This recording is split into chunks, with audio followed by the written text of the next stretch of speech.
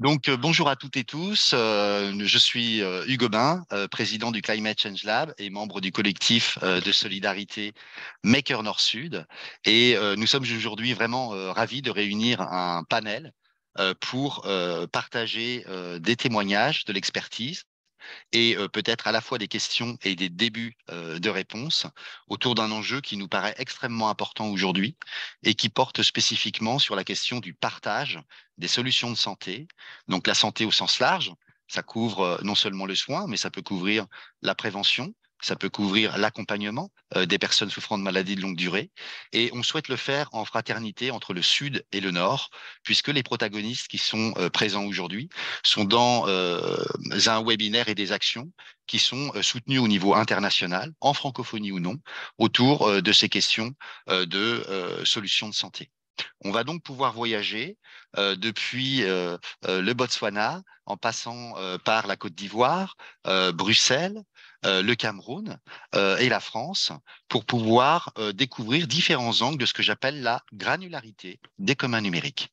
Ça signifie qu'on va balayer successivement des catégories qui sont des catégories de partage légal, de contenus qui peuvent être informationnels, où on verra plus loin carrément des objets téléchargeables. Et on va partir de catégories qui sont fondamentales et extrêmement importantes aujourd'hui, comme la donnée, euh, la donnée de santé et ses particularités. Et puis, on va se poser des questions autour des questions des supports d'enseignement et de formation outillés par du numérique, de leur partage ou non et de leur cible.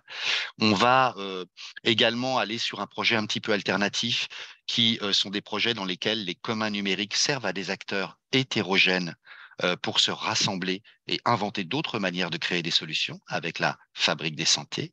On va avoir un témoignage euh, d'un projet très intéressant soutenu euh, notamment par DirectEU, qui est une grappe de projets européens autour de la réponse Covid avec le Sénégal et Worefal, autour des logiciels open source qui permettent de gérer des rendez-vous, des cliniques entières. Et puis, on va aller sur un domaine qui est probablement moins connu de notre auditoire euh, qui euh, s'intéresse aux solutions de santé professionnelles et euh, qui concerne ce que j'appelle la preuve par le faire, c'est-à-dire la possibilité démontrée pendant la crise du coronavirus de pouvoir, sans déplacer les atomes, fabriquer sur place des solutions pour réparer des objets médicaux, fabriquer des objets de soins, voire des aides techniques ou handicap au travers l'expérience euh, de Thomas Mboa au Cameroun. Et euh, nous aurons euh, en conclusion un échange avec les, les, protagonistes et nous prendrons les questions de la salle pour réfléchir à la question en quelque sorte de la crédibilité des modèles économiques de ces communs numériques. Donc, sans attendre, nous avons le plaisir d'accueillir Charlotte Marchandise, euh, qui est euh, assez connue pour euh, ses prises de position autour du partage. Et Charlotte, je te passe la parole pour introduire cette belle rencontre en nous parlant un petit peu de ces communs numériques en santé. Merci beaucoup, euh, Hugues. Merci à tous. Euh, ravi d'être là ce matin. Alors, très rapidement, je vais, euh, avoir un point de vue qu'on appelle en sociologie. J'ai appris le mot la semaine dernière, je l'adore, de marginal séquence marginal séquente, ça veut dire que j'ai des pieds dans pas mal d'univers et que les séquences, c'est ces droites qui vont permettre d'essayer de faire du lien. Et donc, euh, j'ai euh, à la fois euh, des ancrages dans la recherche, à la fois des ancrages dans la politique. Et notamment, j'ai été élue à la ville de Rennes et présidente d'un réseau de villes en France et en Europe, les villes santé de l'OMS. Et je travaille également en tant que consultante en France sur des terrains, des petits terrains. Cet après-midi, je serai sur des communes rurales et à l'international, euh, notamment sur le continent africain euh, où j'ai pas mal bossé au Burundi euh, et là je commence une mission en Algérie. Donc une vision un peu partagée. Je suis également formatrice. et quand on en parlait avec Hugues, comment on travaille, comment on commence cette journée, j'avais envie de commencer par le plaidoyer parce que euh, si j'ai un fil rouge, une ligne rouge, un, point important, c'est que la santé, c'est un choix politique. C'est ce qu'on partage au niveau de l'organisation politique, l'organisation mondiale de la santé. C'est ce qu'on partage au niveau de plein de militants engagés pour le droit des usagers, usagères, patients, patientes, citoyens, citoyennes pour leur santé. Un choix politique au sens noble du terme de la vie de la cité. Et les communs, ce sont des choix politiques. Euh, mettre des données en commun, mettre des outils en commun, c'est un choix.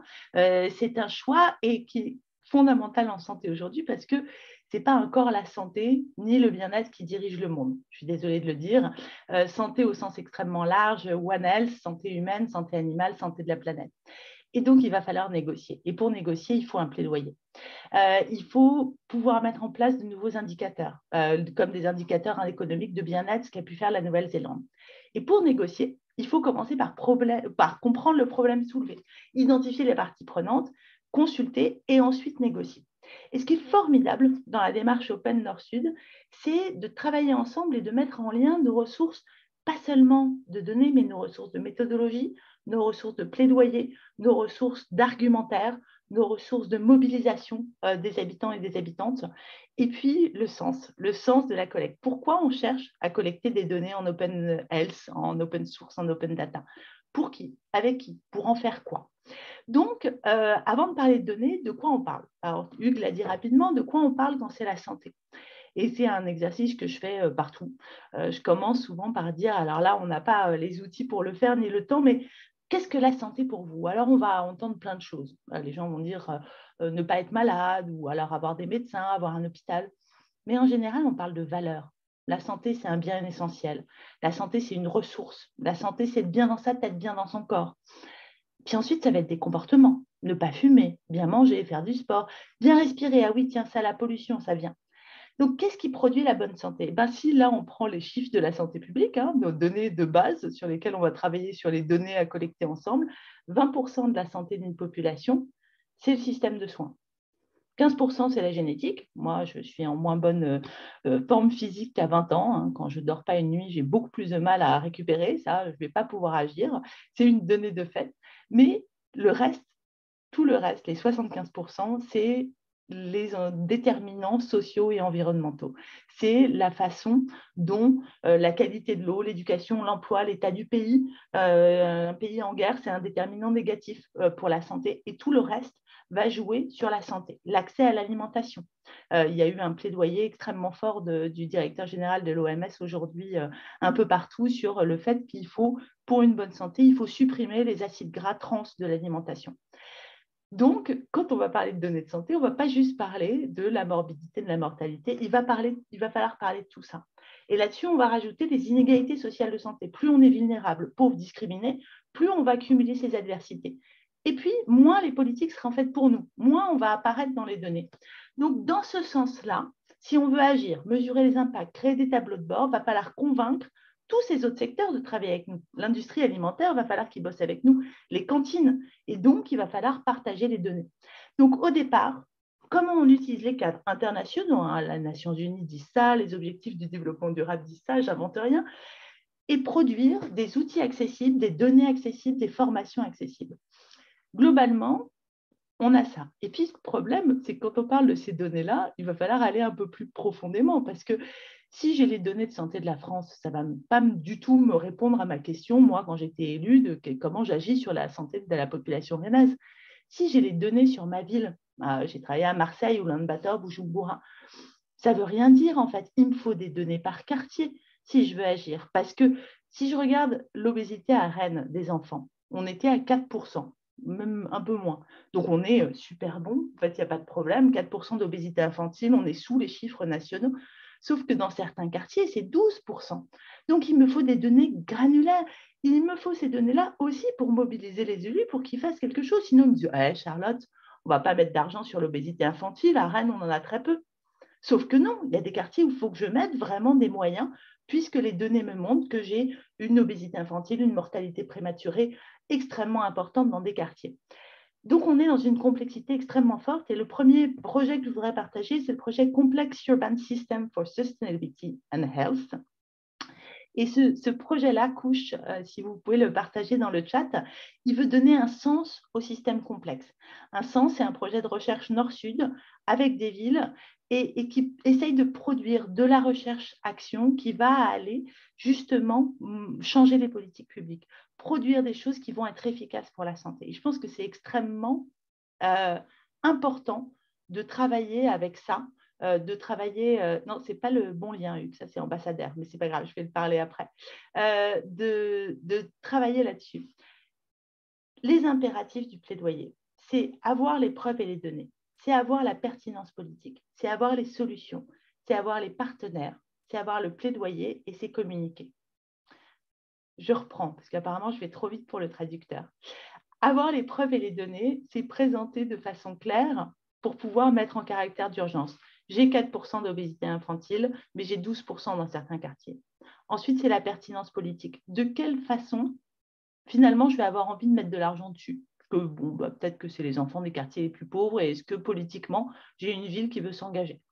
Ensuite, c'est pour montrer des solutions. Parce que plus je vais montrer des choses qui ne se passent pas bien, genre en ce moment, vous avez vu partout dans le monde, la santé mentale des jeunes, c'est une catastrophe. Les jeunes vont mal, on a des troubles suicidaires, on a de l'anxiété partout dans le monde. Et une fois qu'on a dit ça, qu'on a répété toutes les semaines ces articles-là, qu'est-ce qu'on fait? Donc, mon plaidoyer, il me faut des solutions. Et donc, quand on va plaidoyer pour des communs, il faut qu'on donne des solutions. Ensuite, il faut des partenaires. Et c'est là où c'est hyper intéressant qu'on soit là avec l'AFD. Parce que je vois tellement de projets où on est là, on fait nos petits trucs, on fait et, on ne les remonte pas aux agences internationales et on n'arrive pas à se faire inviter dans les grands colloques et les grands machins. Et c'est important d'y être parce que si on n'y est pas, si on n'y est pas, eh bien, on fait les choses pour nous, sans nous.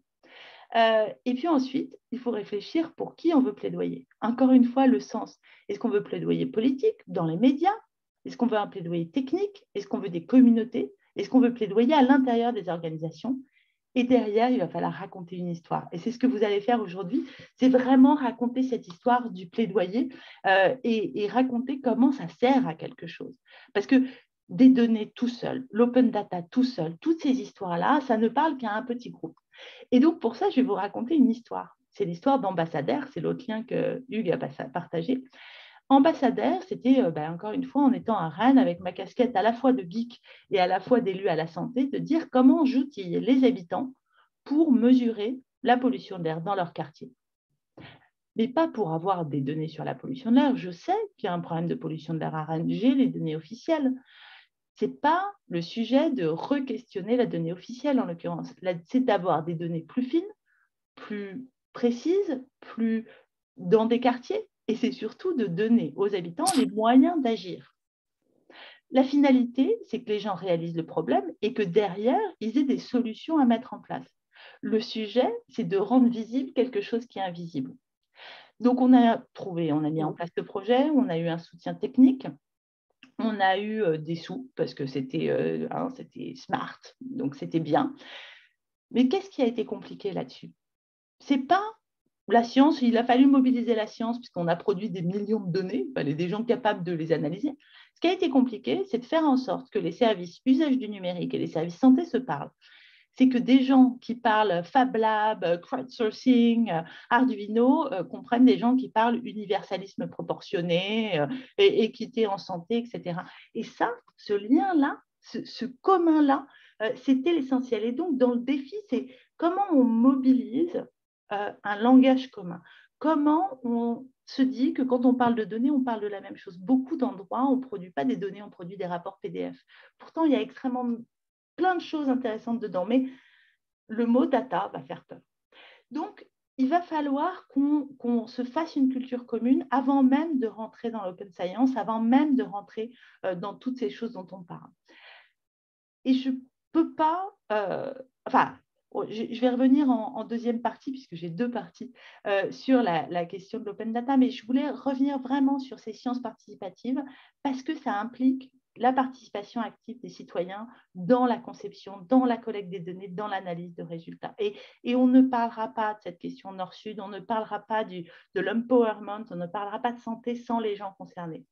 Euh, là-dessus, il y a notamment Jason Coburn à Berkeley euh, qui, a travaillé beaucoup, qui a mis en place des recherches-actions participatives auprès des communautés sur la justice sociale et environnementale et sur la santé, et qui mobilise l'intelligence contextuelle des gens. Et il montre comment on peut coproduire des politiques scientifiques en partant des problèmes techniques sans le dissocier du contexte social, c'est-à-dire en étant dans des slums, dans des bidonvilles, euh, dans des quartiers de New York extrêmement difficiles, dans des quartiers de Colombie avec des enjeux de sécurité euh, euh, extrêmement forts, et où tout le monde s'engage dans tout, de la définition du problème à la prise de décision, pour faire des décisions plus légitimes sur le plan scientifique et responsables.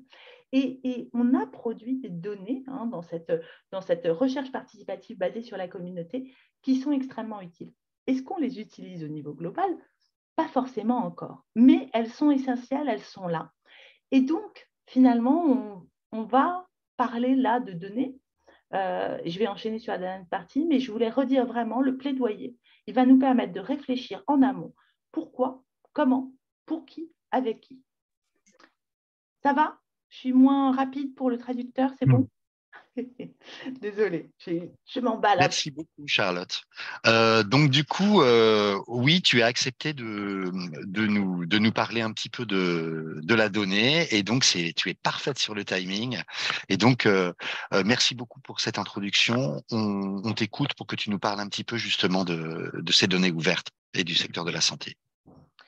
Alors, évidemment, je vais en parler toujours avec un peu euh, mes, grands principes de santé publique, mais euh, les inégalités sociales de santé, la santé dans toutes les politiques, euh, c'est des principes globaux.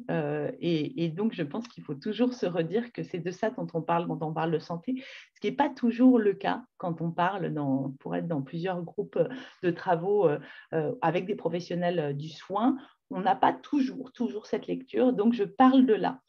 Euh, les données ouvertes en santé, euh, des données qui sont mises, à disposition du public gratuitement, sans restriction de licence, d'accès, d'utilisation, euh, anonymisées. Elles sont souvent fournies dans un format numérique structuré et on peut les utiliser sur des analyses, des recherches ou des applications. Aujourd'hui, il y a beaucoup de recherches. il y a des applications plus ou moins probantes sur l'utilisation. Euh, il y a quelques analyses, mais euh, je pense que ça reste franchement très en deçà de ce qui pourrait être fait. Qu'est-ce qu'on a en données? On a des données telles que les statistiques des maladies, les registres de santé, les données démographiques, quelques données environnementales aussi, je vais y revenir. On a les données sur les soins de santé, euh, les dossiers médicaux, les prescriptions de médicaments, ça c'est hyper intéressant, les prescriptions de médicaments sur un quartier, de se dire, tiens, ce quartier-là, par exemple, il consomme beaucoup d'anxiolytiques. Qu'est-ce qui se passe? Euh, Ou ce quartier-là, on a beaucoup de, personnes fragiles. Euh, on a beaucoup de personnes avec des maladies chroniques. Euh, les dossiers de laboratoire, et puis les données sur la qualité des soins, le taux d'hospitalisation, le taux de mortalité, mais aussi la satisfaction des patients. Donc, on a des données qualitative et quantitative. Je pense à des nouvelles mesures, par exemple. Je ne sais pas si vous connaissez, euh, parce que les premières données, on les connaît un petit peu, c'est euh, les, euh, les PROMS et les PREMS. Alors, c'est Patient Reported Outcome Measures et Patient Reported Experience Measure. Et c'est des questionnaires de satisfaction qui sont bien différents que, ce qu'on a d'habitude. C'est pas juste est-ce que tu étais content du repas, oui, non. C'est qu'est-ce que ça a produit, qu'est-ce qui s'est passé pendant, euh, ton séjour à l'hôpital, au bout de combien de temps vous avez réussi à marcher. Elles sont de plus en plus mises en œuvre, mais elles ne sont pas dans les mêmes, elles sont pas dans les mêmes fichiers, elles ne sont pas dans les mêmes endroits en fait. On ne les traite pas de la même façon. Alors que c'est extrêmement intéressant, c'est beaucoup plus qualitatif que de dire euh, que des données un peu globales. On a les données de la recherche, mais là aussi, la recherche, est-ce que les données de la recherche, quand un étudiant en thèse ou un étudiant en master 2 vient faire un terrain, est-ce que ces données-là, elles sont remises dans la base de données commune Ben non, assez peu en fait. Elles sont publiées sur le site de l'université, mais on ne les a pas remises en commun. Là, j'ai travaillé à Marseille, il y a eu des étudiants en médecine qui ont fait une étude, là encore, sur la santé des enfants extrêmement intéressante elle n'est pas dans l'Observatoire régional de santé de la, ville, enfin de la région en l'occurrence. Ce n'est pas remis en commun. Donc là, on a des données passionnantes qui ne sont pas là. Les données sur bah, tous les déterminants sociaux et environnementaux qui sont dans une autre case, qui sont la case sociale, qui sont euh, euh, la case urbanisme. Là, il y a des données absolument magnifiques, mais qui ne sont pas partagées au même endroit. Et puis les données des coûts. Alors ça, les données économiques, si seulement on pouvait en avoir plus, les données de remboursement d'assurance maladie, les coûts des services santé, mais au-delà de ça, on dit, on dit en santé publique, on dit, euh, un euro investi en prévention, c'est 7 à 9 euros économisés en soins. Alors c'est un truc, ça fait très très longtemps qu'on dit ça. C'est certainement vrai, mais il faut peut-être qu'on aille un peu plus loin. Mais si on n'a pas les données d'investissement sur les coûts de santé et les coûts de prévention. Et si on ne regarde pas très précisément combien d'argent on donne à qui pour faire quoi, pas juste pour aller faire Octobre Rose et une Zumba, mais pour aller faire des actions probantes avec des indicateurs, on ne va pas pouvoir prouver ça. Et si on veut réorienter de l'argent sur tout ça, il va falloir le prouver.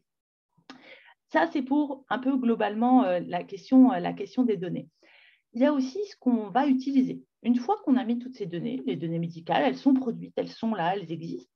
Comment on les partage? Alors euh, là-dessus, je vais vous conseiller, c'est le troisième lien que je donnais, euh, l'excellent euh, cahier de la Fondation Internet Nouvelle Génération sur mes données santé, qui explique très bien tout ce qui a été fait autour de Blue Button, qui permet à 150 millions d'Américains de récupérer leurs données médicales. Hein, surtout, vous avez un bouton bleu sur les sites des acteurs de santé qui vous permettent de récupérer vos données de santé depuis le site du médecin, du pharmacien, des assurances et les transmettre.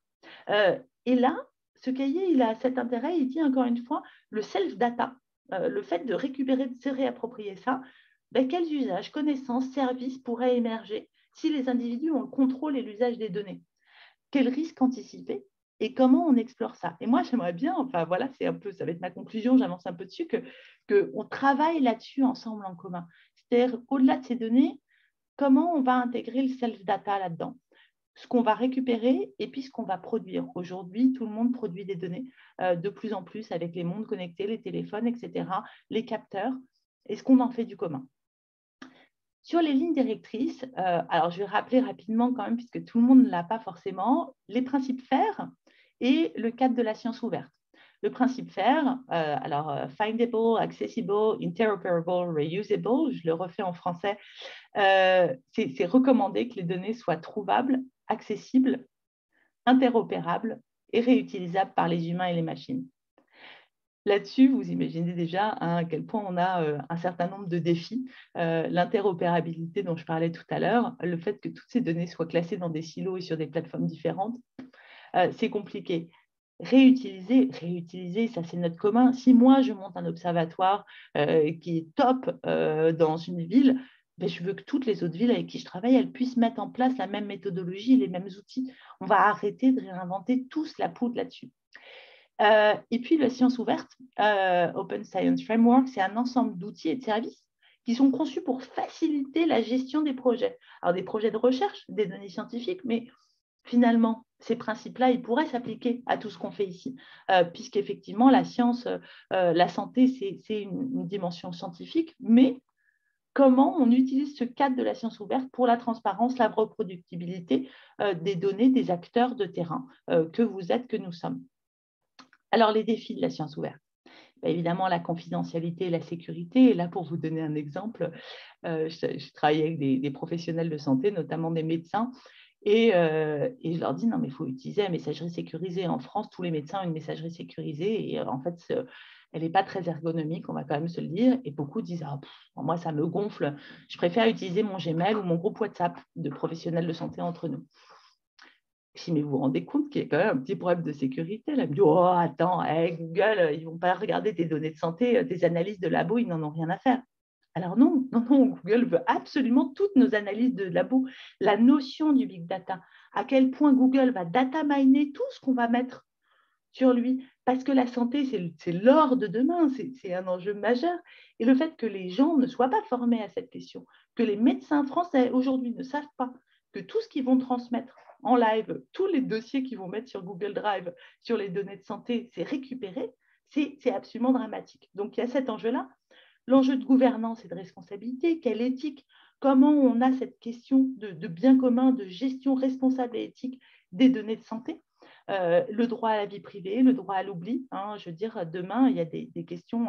Aujourd'hui, il y a des endroits où l'assurance, elle va vérifier que vous faites 10 000 pas par jour. Si vous ne faites pas 10 000 pas par jour, vous allez payer plus cher. On, est à l'aube de, changements radicaux là-dessus. Euh, la qualité des données, c'est un enjeu aussi énorme. Hein. Est-ce que c'est une donnée systématique? Est-ce que c'est quelque chose qui représente toute la population ou pas? Quand on parle d'hygiène et de salubrité, par exemple, les punaises de lit, c'est un énorme défi de santé publique. Ben, on n'a pas une donnée systématique. On sait que les gens qui nous disent qu'ils ont des punaises de lit. Il y a plein de gens qui ne le disent pas. Donc, ce n'est pas la même qualité de données. Il va falloir le regarder euh, très précisément si on peut comparer. On ne peut pas tout comparer. L'interopérabilité, j'en ai parlé, comment on peut avoir dans la complexité de la santé des données qui se parlent entre elles. Euh, et puis la granularité, c'est l'exemple que je vous donnais tout à l'heure. Alors en France aussi, il y a la loi Open Data des villes hein, depuis 2016, euh, où euh, il faut que les citoyens puissent avoir un certain nombre de données brutes qu'ils puissent consulter.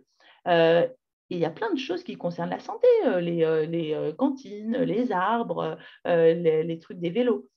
C'est un bien commun. Mais qui s'en saisit et comment on l'utilise? Je peux vous dire, pas grand monde encore. Euh, c'est mon projet de start-up que j'ai un jour. J'arriverai à mettre en place quelque chose qui, permettra qu'on utilise tout ça pour la santé, mais peut-être qu'on pourra le faire ensemble. Pour conclure, il nous faut une approche holistique, collaborative, des mesures méthodologiques, techniques, éthiques et une gouvernance. Et je pense qu'on a besoin de commencer par un texte commun sur cette question d'open data de santé. Je pense que, ben, je vous citais le cahier de la FIM, il y a une charte, Mes données, ma santé, qui réfléchit comment on peut mettre les données de santé entre les mains des usagers dans le cadre du self-data pour euh, renforcer le pouvoir d'agir. Eh ben, est-ce qu'il n'y a pas une charte à faire dans ce contexte nord-sud de là où on est? Euh, Quelque chose qui est fort, qui est structurant, qui va être un plaidoyer pour des données de santé partagées, mais surtout des méthodes, des usages, des outils, et, et de dire tout ça, notre projet commun, ce qui nous rassemble, c'est ça et l'élargir aux agences des Nations Unies, aux bailleurs, aux financeurs, faire un commun des communs, si vous voulez. Hein.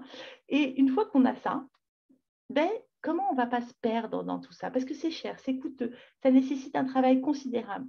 Et on ne va pas pouvoir outsourcer, on ne va pas pouvoir faire le travail de terrain euh, en commun, parce que chacun a son terrain. En revanche, partir, faire des cas d'usage parallèles autour d'un sujet et faire une boîte à outils qui montre comment on recueille, on qualifie, on utilise, on mobilise toutes ces données de santé. Imaginez un sens commun, un fil rouge. Eh bien, je crois que c'est un enjeu qui serait intéressant euh, pour la suite, parce qu'avoir des données ouvertes pour la santé, avoir des méthodologies ensemble pour la santé et les capacités de s'en saisir, où qu'on soit, et quelles que soient nos, capacités, notre pouvoir euh, collectif et personnel, c'est un enjeu stratégique, c'est un enjeu citoyen, c'est un enjeu structurant, c'est un enjeu nécessaire et c'est un enjeu collectif pour notre futur. Merci beaucoup pour ces lignes de perspective, euh, un rappel des enjeux, euh, une illustration par l'exemple et euh, également une mise en perspective importante, c'est-à-dire que la santé, c'est pas que les médecins euh, et euh, la donnée, c'est pas qui concerne le soin, bah c'est pas que la donnée médicale et cette vision un peu écosystémique de ce qui pourrait nous rassembler. Merci beaucoup Charlotte. J'espère, je sais que tu ne pourras pas rester toute la matinée, je le regrette, mais bah, j'espère que tu vas quand même rester un petit peu parmi nous. Je reste euh... de revenir. Merci.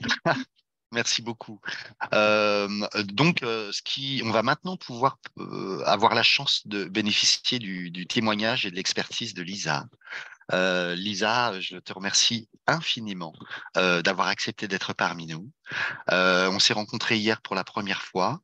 Euh, tu es la directrice stratégique d'une euh, fondation dont tu nous diras quelques mots et qui fait un travail extraordinaire autour d'un des sujets euh, qui est revenu assez souvent au travers du numérique en santé, en tout cas dans les projets que j'ai croisés et qui porte énormément sur l'information, la prévention et la formation à la fois des personnes et euh, des, euh, de tous ceux en fait qui euh, sont dans des dynamiques de santé, notamment sur l'Afrique et le Sud, au travers de vos travaux qui ont une ampleur assez considérable. Et donc, je te remercie beaucoup d'être parmi nous pour partager un petit peu expérience, témoignage et très librement votre vision de, en gros, l'apport du numérique en santé et peut-être aussi votre vision de la place de communs digitaux partager dans cet écosystème. Donc, je te donne les droits d'animation pour que tu puisses, si tu le souhaites, partager ton écran. Hop, et je te demanderai de me les redonner quand tu auras fini de parler. D'accord? C'est parti. Merci Lisa. Thank you very much.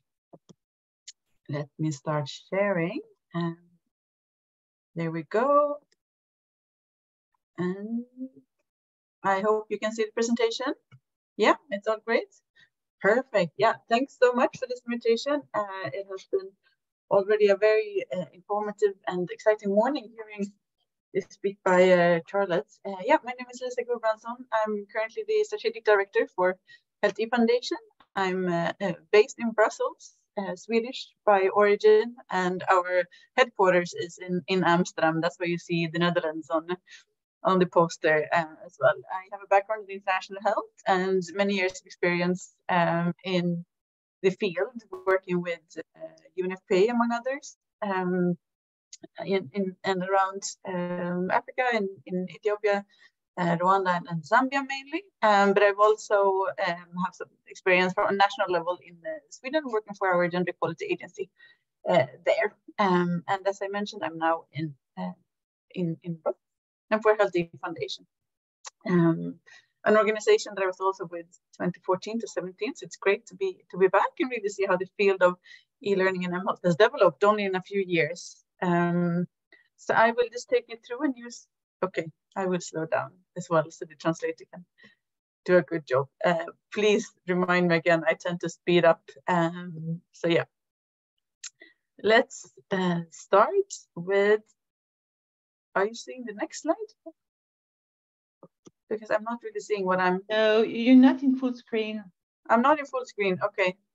Am I in full screen now? Yes. Perfect. Next slide. Excellent. Okay, so Healthy Foundation. Well, we're um, non-profits based in based in Amsterdam, and uh, we have a strong network of in sub-Saharan Africa and over a 20 year uh, long track record in, in digital solutions. We also have a hub in, in Uganda that caters for uh, East Africa. But we were founded in back in 2003, so when the world looked very different in terms of digital um, solutions and uh, even open source data back then, um, but really to strengthen the knowledge and the capacity of healthcare professionals with the use of e-learning. So we really could reach out in resource restricted settings and effectively provide training and training opportunities without the need for them to leave their, their clinics or leaving them unattended. Um, and over the years, we've broadened our scope, and we now we provide both digital knowledge and education for for healthcare professionals, but also more at, at community level.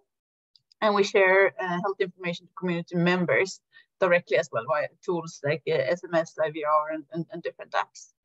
And all with aim really to improve quality of care, and promote um, informed decision making, and really help the self management at large scale in resource limits. Um, settings. Um, here's just a, a, quick overview. I'm not going to go into to details too much, um, but on our journey where we started in 2003, and and then after in uh, 2016 we really introduced mHealth and, and went over to that and looked more at uh, app technology and SMS and voice message. And with the with the pandemic, of course, uh, that came, we um, 2020, we all know how that drastically changed the world for, uh, for all of us. And it both forced and inspired us, I'd say, to change our way of working. So then with the two decades that we had of experience in e-learning, um, in many ways it worked in our um, favor of travel restrictions and, and social distancing, um, but it also definitely taught us to look very critically at our own blended learning uh, setup. And until then, we had really worked with a home-based uh, closed source learning management system, LMS. And um, we really wanted to, with the with, with the pandemic as well, to hand over more responsibilities and ownership to our local partners. Um, so we started to look for alternatives on, uh, and, and based on a few uh, number of requirements, we uh, included that it should be open source and SCORM compliant is definitely important as well, and with uh, offline functionalities we selected Moodle, that I'm sure most of you are aware of, as our new learning management system. And uh, we really phased out our own home-based uh, closed source LMS just to to to then move over to an open source LMS um, instead. Very much with the aim to strengthen the capacity of our local partners and to own and maintain their own uh, digital solutions while uh, we were still supporting that. Um, key principles of e-learning products, we always want to be simple and, and straightforward. So um, it can be um, used by as many as possible. Um, M&E based on, on pre and post tests.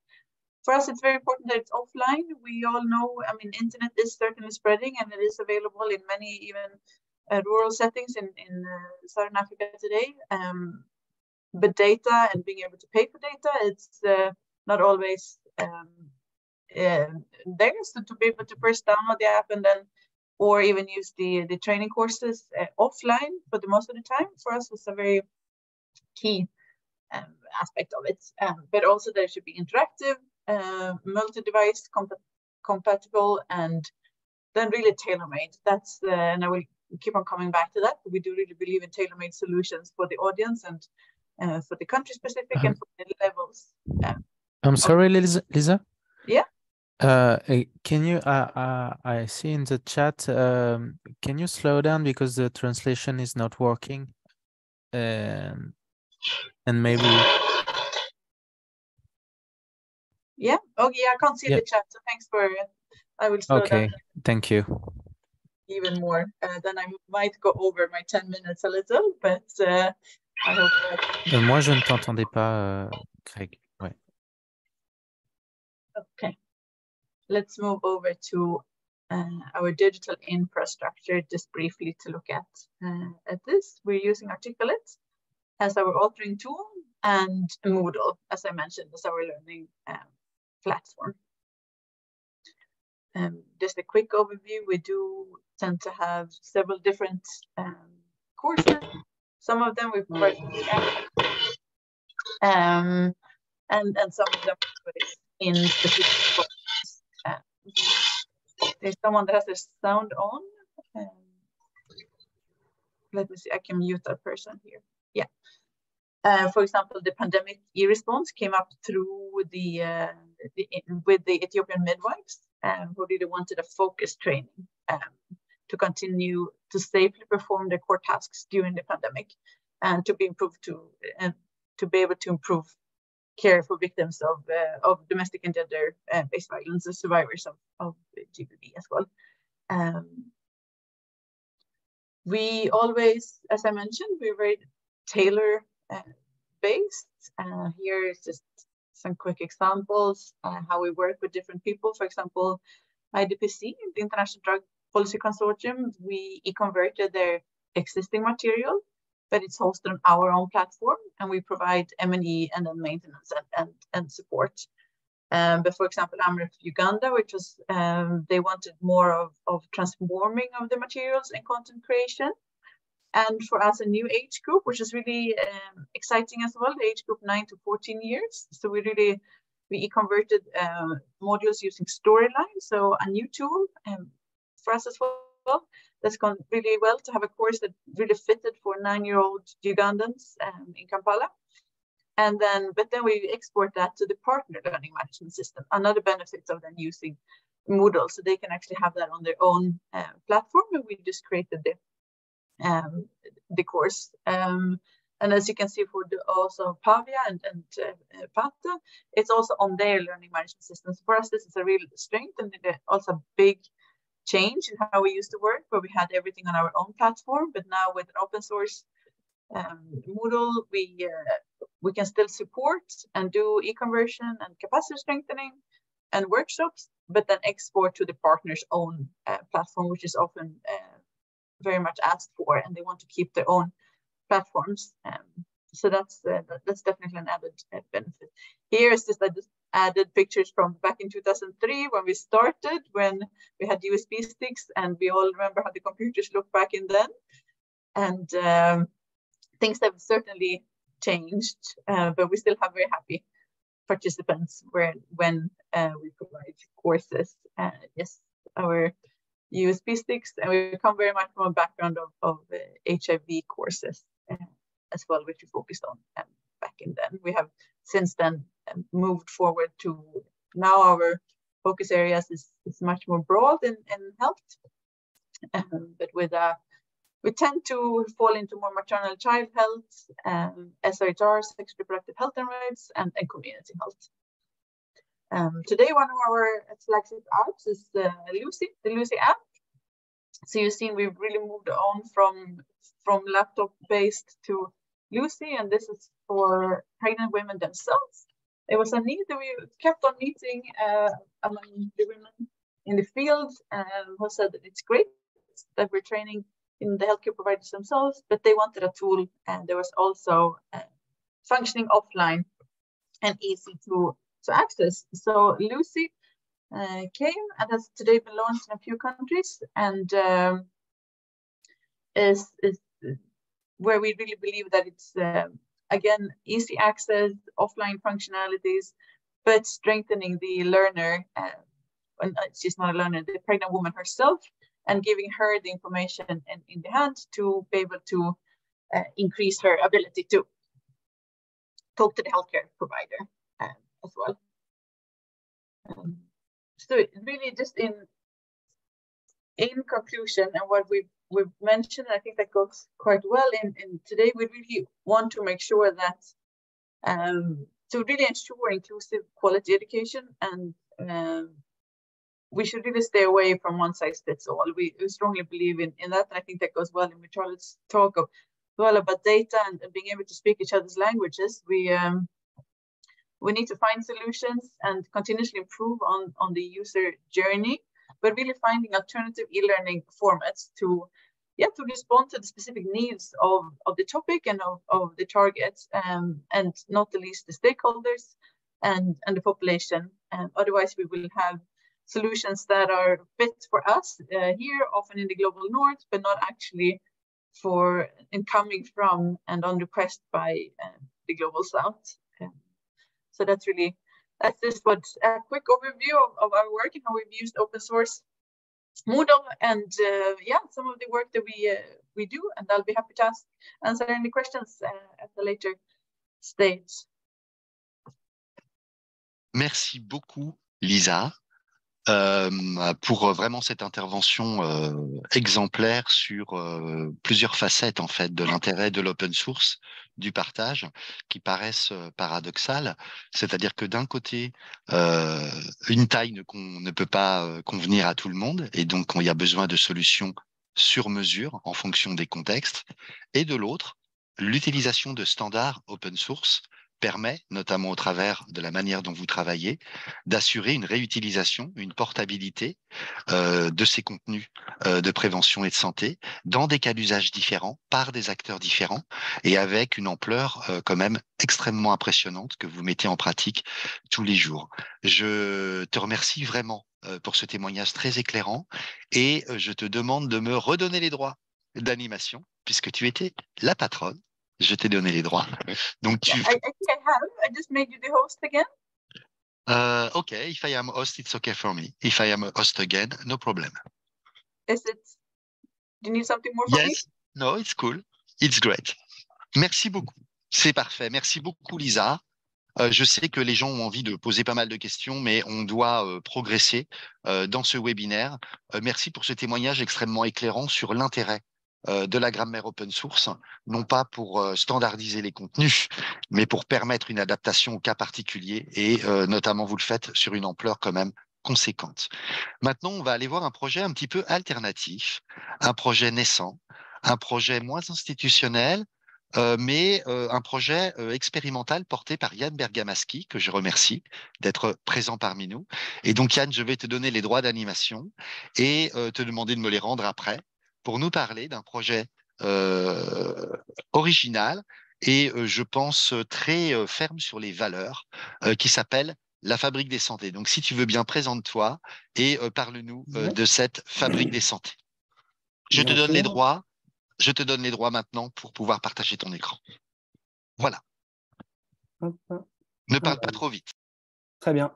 Eh ben, je vais essayer de ne pas parler trop vite, même s'il y a beaucoup de choses à dire. Alors, est-ce que vous voyez mon écran?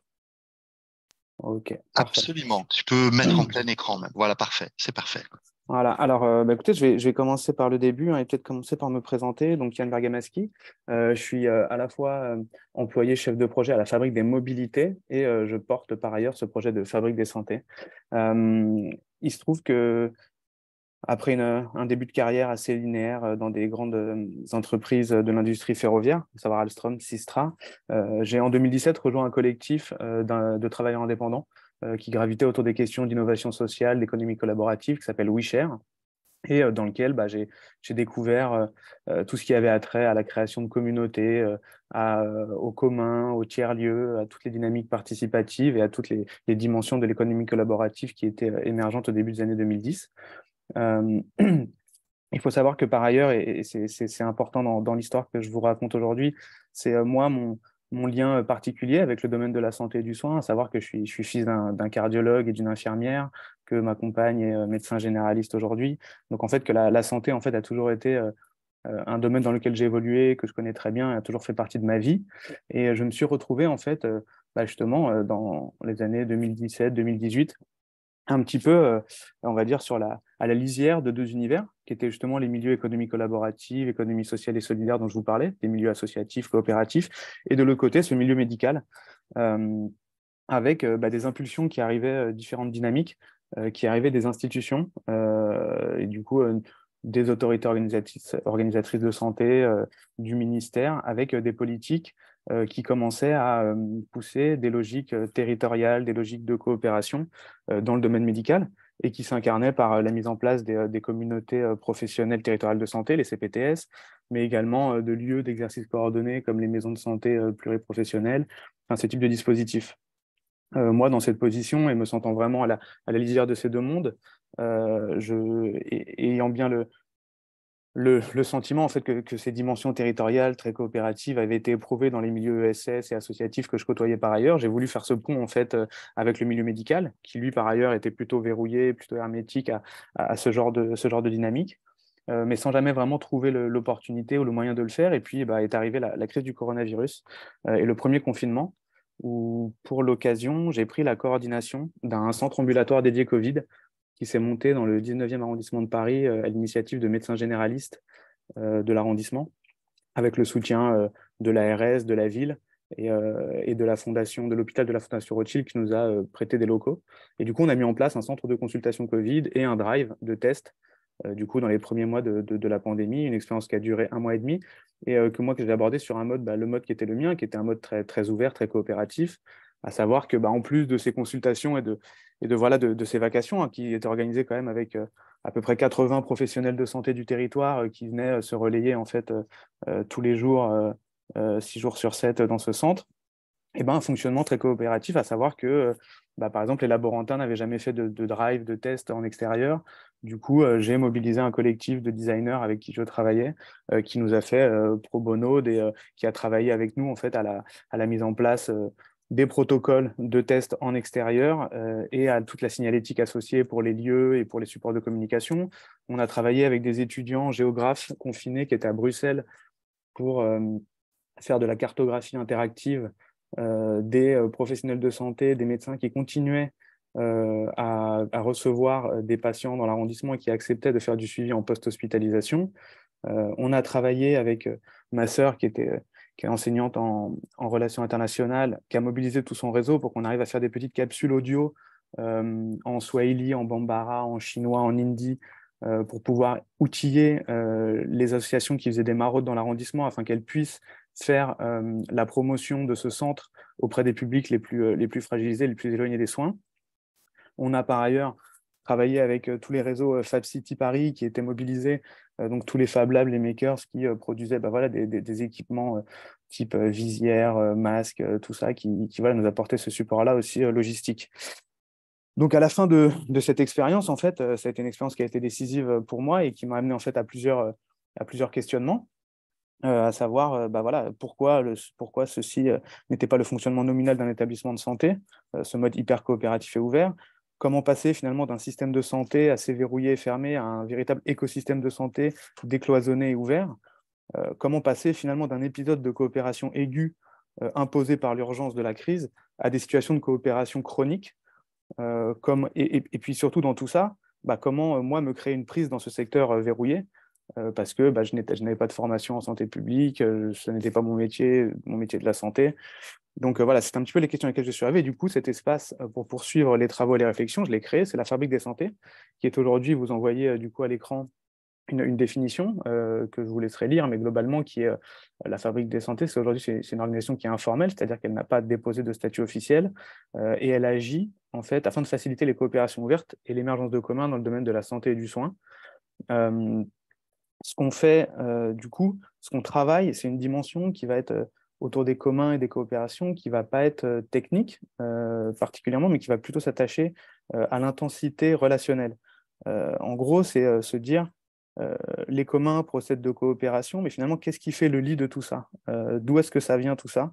Et comment on arrive à, finalement à, stimuler ça? En fait, la coopération telle qu'on l'entend, elle ne s'arrête pas simplement à la technique ou à l'ingénierie associée à un produit déterminé qu'il faudrait produire et en performance, mais elle repose sur un processus libre de découverte mutuelle. Euh, la coopération dont on parle ne s'exerce pas au moyen du seul travail, mais elle va solliciter un ensemble de capacités et finalités humaines. Et, enfin, cette coopération ne s'arrête pas non plus euh, dans le temps à une durée déterminée, mais elle n'a pas d'horizon fini. Donc en fait, ce qu'il faut imaginer, c'est que la coopération, comme on l'entend, euh, c'est un, grand continuum de, coopération, finalement, qui va se décliner de l'initiative individuelle euh, d'un développeur particulier qui développe un morceau de code dans son coin, à de la politique publique. Donc voilà un spectre très large, mais également un continuum de coopération qui va impliquer une grande multitude euh, d'acteurs, euh, que ce soit des institutionnels, des hackers, euh, des académiques, des professionnels de santé, mais également de thématiques avec bah, des sujets tels que de la santé communautaire, de la psychothérapie institutionnelle, de la santé planétaire, de, du logiciel libre et open source. Et au final, des initiatives, des acteurs, des thématiques, mais également des échelles, des échelles d'action, de décision. Donc là, avec en effet euh, on voit des, échelles très micro, très locales, à des niveaux euh, un niveau national ou, même au-delà, et puis euh, des temporalités, des temporalités qui sont, qui sont plus ou moins longues. Et donc, la question qui se pose là-dedans, c'est en fait comment créer des situations de coopération entre cette grande diversité d'acteurs en périphérie de, leur réseau naturel, des acteurs qu'ils ont l'habitude de côtoyer et en périphérie de leur cœur de métier, et finalement des situations de coopération qui soient également inscrite en dehors d'une situation d'urgence, de crise, en dehors d'opportunités de marché, donc dans des logiques qui ne soient pas forcément marchandes, en dehors également de la commande institutionnelle et euh, des circuits balisés d'un système de santé fermé, verrouillé et au, rouage déjà bien huilé. Donc ça, c'est la question de base et c'est ce qui fonde en fait l'intention de la fabrique des santé qui s'implique justement, euh, qui part du présupposé plus que de méthodologie, parce que c'était le, titre de l'intervention, plus que de méthodologie, c'est plutôt sur des présupposés euh, que s'appuie euh, la fabrique des santé, avec euh, l'idée que finalement, il n'y a pas de commun sans coopération, il n'y a pas de coopération sans confiance, il n'y a pas de confiance sans relation. Donc nous, on va vraiment s'attacher à travailler ces dimensions-là pour faire en sorte que finalement se révèle un écosystème, se révèle un écosystème à lui-même, que les différents cercles de pertinence au sein de cet écosystème, on en a mentionné, hein, le logiciel libre open source, la santé planétaire, la santé communautaire, que tout ça entre en connexion, que des ponts soient créés entre ces différentes initiatives, de la circulation, que circulent des idées, des ressources euh, entre, entre ces différents cercles. Et, finalement, euh, la fabrique entend euh, conduire une démarche proactive et explicite de coopération dans cet écosystème. et du coup, autre présupposé, c'est que bah, pour euh, faciliter cela, il y a besoin de l'émergence d'acteurs, euh, de nouveaux acteurs intermédiaires.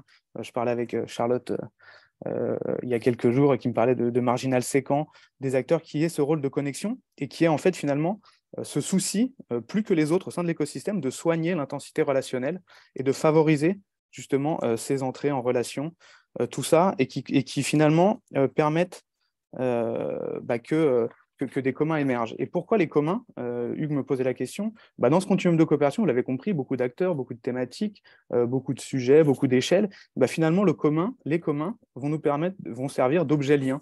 Euh, des objets liens qui vont nous permettre de créer des espaces de coopération, des surfaces minimales de coopération, des espaces de porosité entre tous ces secteurs en périphérie de réseau et qui vont, euh, bah, de par leur caractère protéiforme, permettre une multiplication des formes, euh, des configurations, faciliter la mise en œuvre de divers parcours d'engagement des personnes, des organisations, sur des modèles contributifs, autogérés, collaboratifs, et qui vont même, euh, une fois mis en œuvre, faire la preuve finalement du caractère activable et opérationnel de cet écosystème et de ces interactions qui sont stimulées.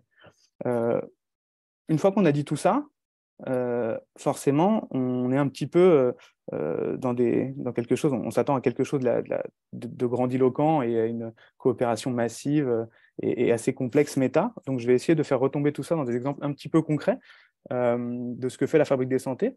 Donc là, par exemple, nous, avons, nous sommes cofondateurs du collectif d'action face à l'urgence en santé et environnement, qui s'est constitué en 2021 en amont de la COP26 pour interpeller les politiques sur la nécessité d'intégrer la santé dans, dans, la COP.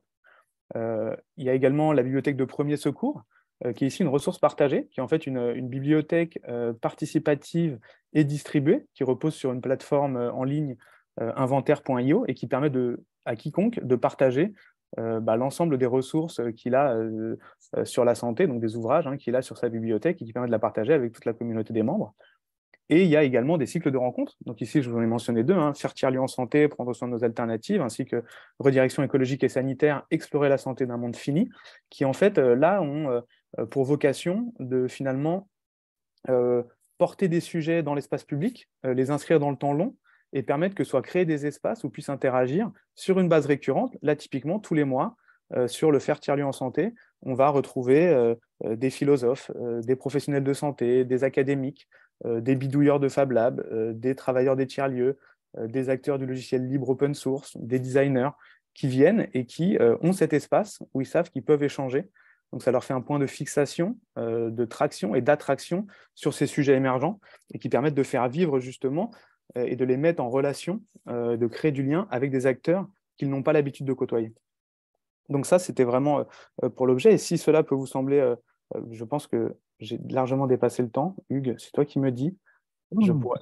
Encore deux minutes. J'ai encore deux minutes. Eh bien, très bien. Et pour ceux à qui ça pourrait sembler anecdotique, du coup, ce que Et je parle pas trop vite, juste j'en profite parce que le traducteur est très bon, mais tu vas très vite. Donc ah, n'hésite pas à les prendre tranquillement. Merci, je te Bien sûr. Ok.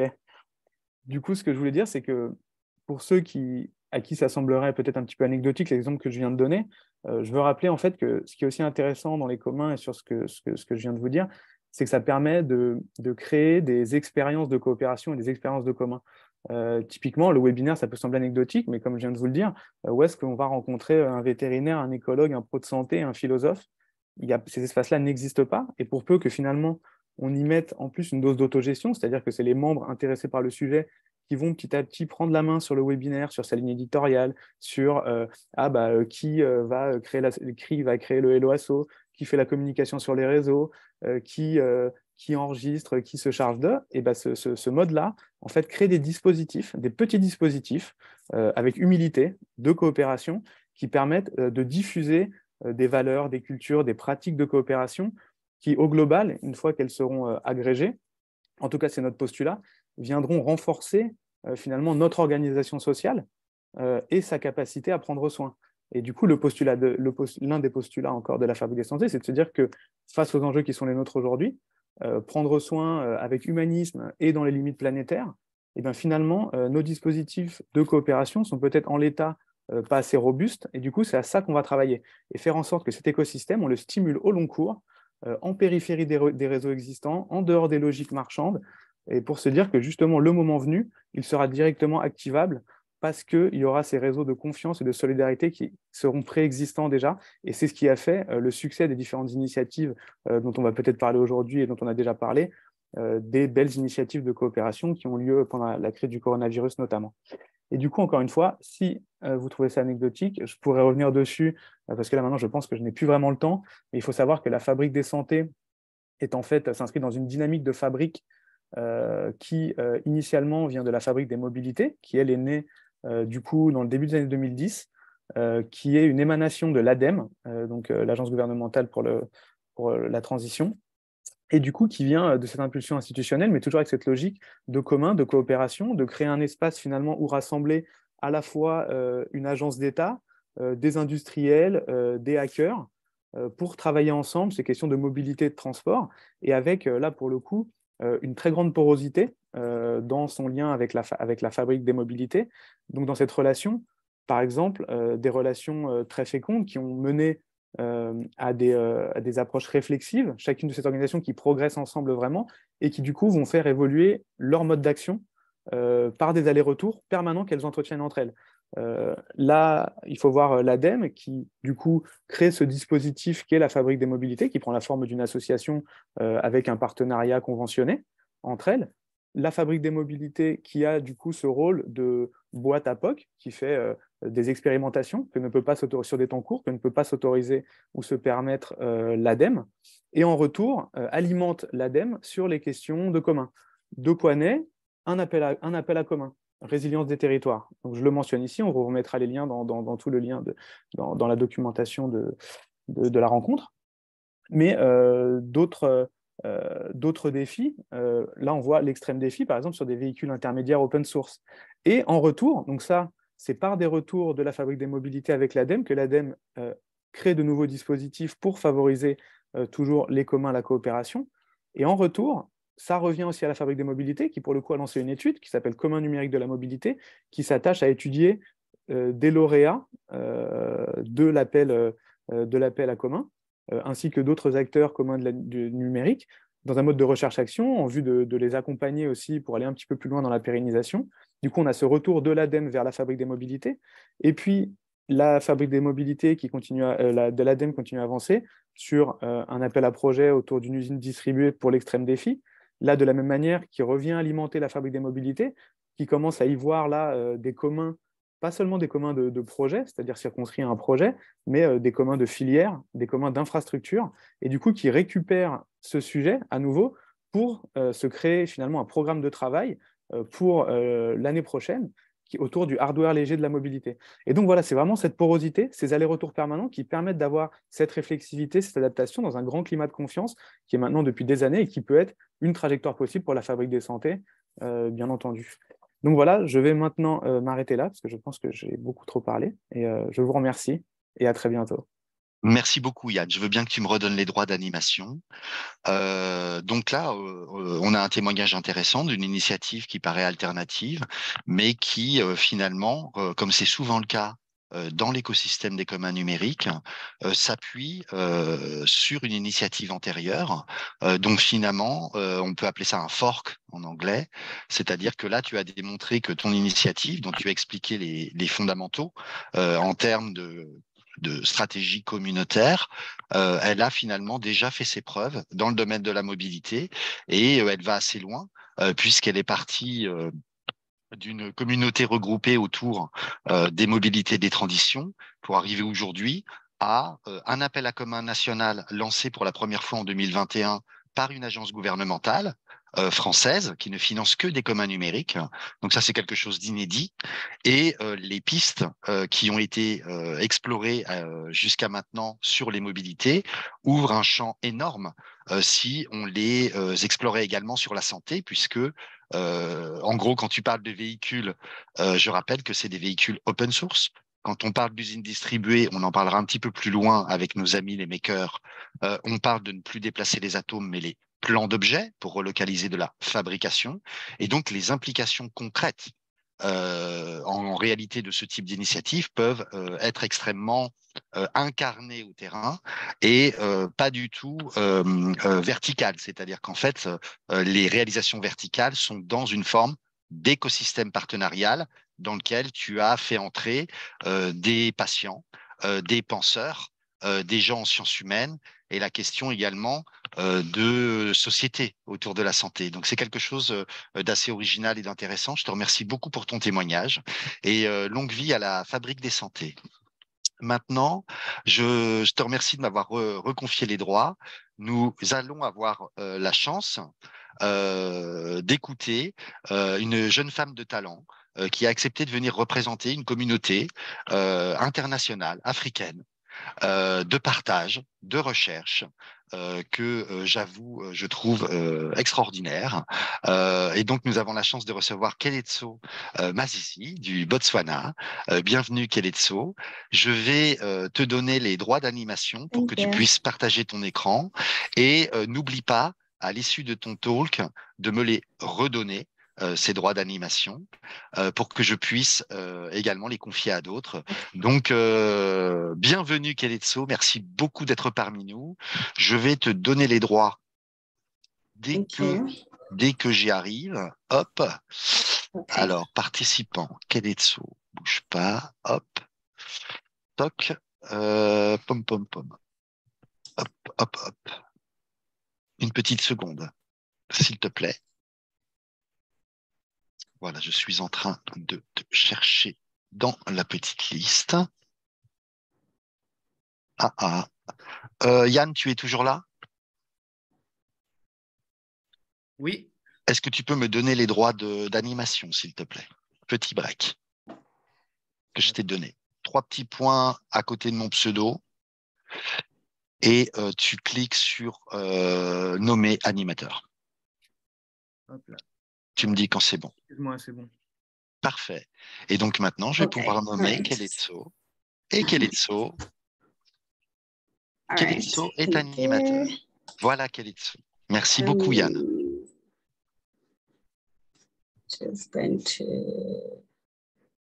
Prenez votre temps et essayez de ne pas parler trop vite parce que euh, le, traducteur fait un très beau travail, mais que ça va vite. Okay, I just uh, shared my screen. Is everybody able to see it? L'écran de Kelitso est en train de charger. Ça y est, on le voit. Ça marche. Okay.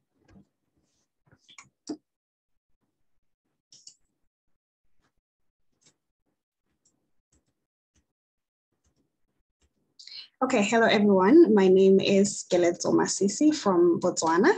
I am here representing the Africa Archive um, team and um, I'm part of the communications uh, department from Africa Archive, and I'll be presenting to you today um, our journey as Africa Archive, who we are, and we titled our presentation Africa Archive, the Pan African Open Access Portal.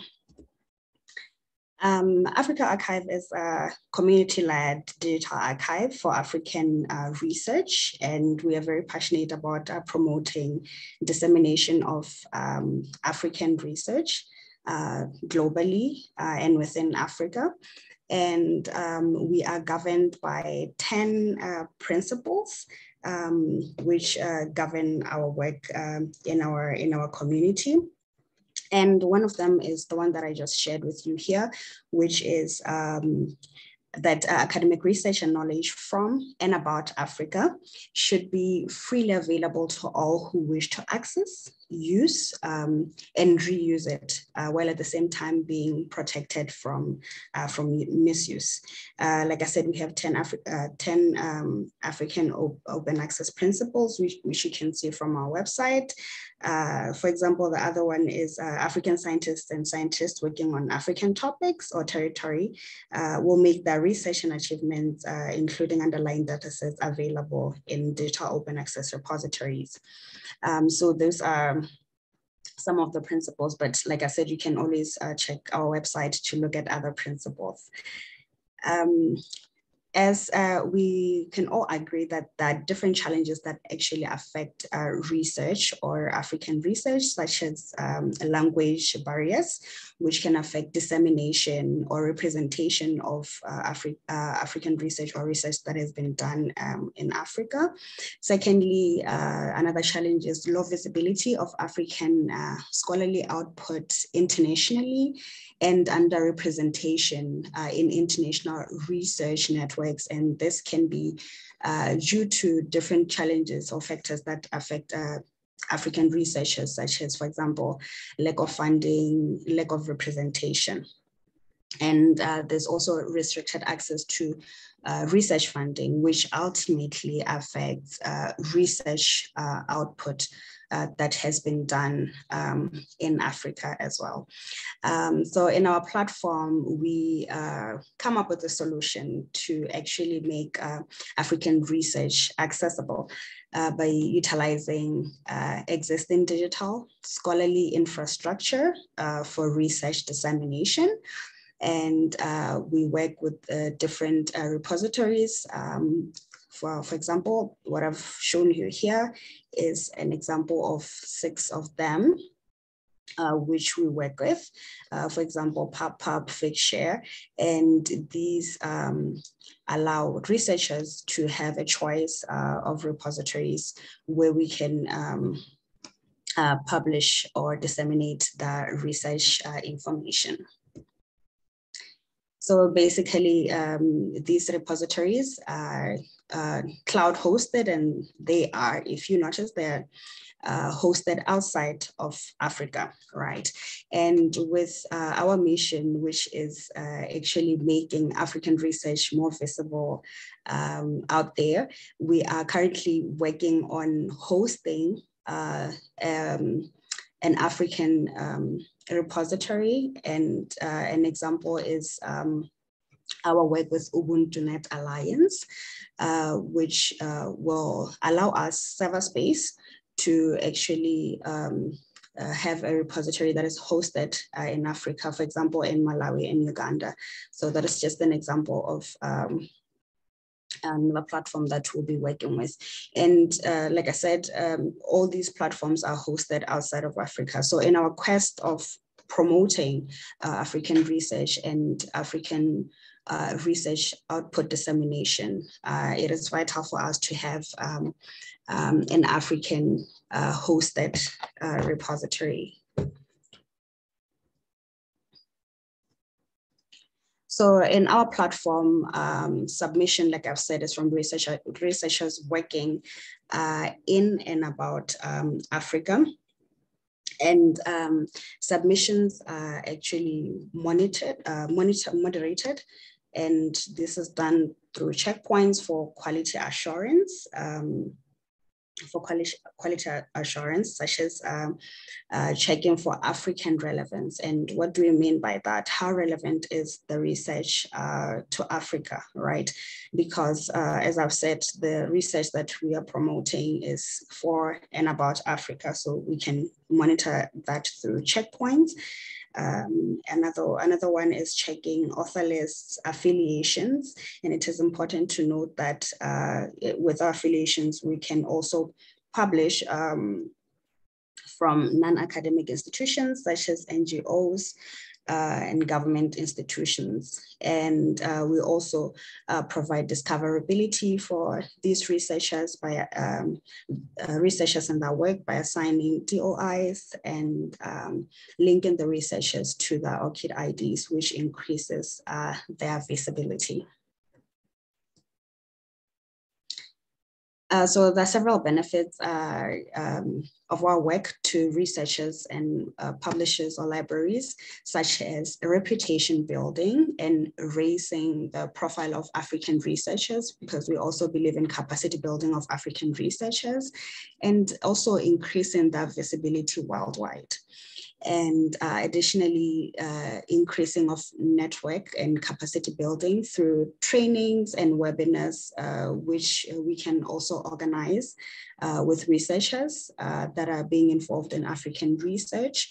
And thirdly, as an example, is uh, increasing discoverability of research output using um, indexing and open licensing.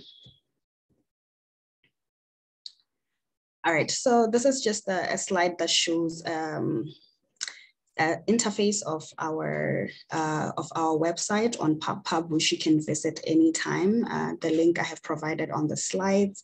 And uh, this just shows you that we curate uh, the submissions uh, according to countries, uh, languages, um, fields or sectors.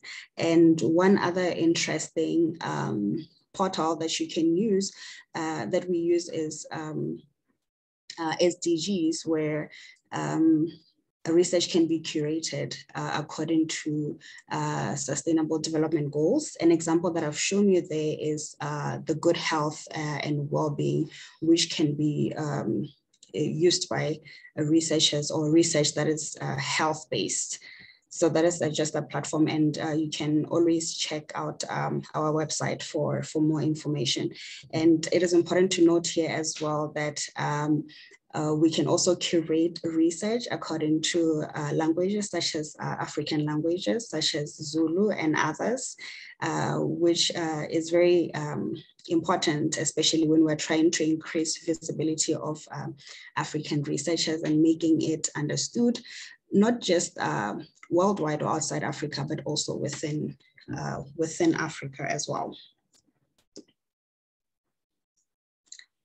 And with the slide, uh, I just want you to appreciate uh, the importance of open access and health in Africa in increasing reliability and producibility of uh, scientific uh, results. And I can, um, I think we can all agree that we noticed the importance of open access during the COVID, COVID-19 pandemic um, and how science uh, research uh, uh, output dissemination played a role in uh, actually accelerating the fight against COVID-19. And this is all thanks to open access. And with that uh, screenshot right there, um, I just wanted you to appreciate um, our portal again. And we were vested in um, COVID-19 research output in and about Africa. And we curated um, submissions um, according to their relation to COVID-19. And um, those research researches were done in Africa. And we had uh, over 2,000 uh, uh, submissions uh, done in that particular field. And uh, we also have uh, a prospective um, prospective partner, the Pan African um, Medical Journal, which is also passionate um, about dissemination of uh, medical research in, in Africa. And um, this is just an example to show you that um, open access is really important in, um, um, in health and uh, information dissemination that relates to health in Africa and beyond. All right, um, and that'll be all for my talk. Um, I just wanted you to appreciate uh, that we are very passionate about uh, dissemination and discoverability of African research at Africa Archive. And uh, we'll be looking forward to uh, hearing from you and you can reach us through our different uh, platforms on social media, uh, Facebook, Twitter, LinkedIn, or email us um, or visit our website where we can find all the information um, that I have discussed here and more. And I'm always open uh, together with my team to answer any questions um, that you may have uh, for us. Uh, thank you very much. Merci beaucoup, Keletso. Euh, on va garder les questions pour la dernière euh, section du webinaire parce qu'on va avoir la chance euh, de pouvoir écouter euh, Warefal du Sénégal, euh, je te demande si tu veux bien de me redonner les droits d'animation. Euh, donc, tu, voilà, me redonner les droits d'animation euh, en cliquant sur ma petite vignette, les trois petits points, et en me nommant animateur. Et je pourrais muter le micro de Serge. Voilà. Donc, I'm trying to see how I can. Uh... You you click on my. Uh, if you put your mouse on my um, face, you will see uh, three little dots on the uh, upper right corner of my uh, image, and then you click on them. You have promote uh, to host or something like that. Ok, je comprends. Je ne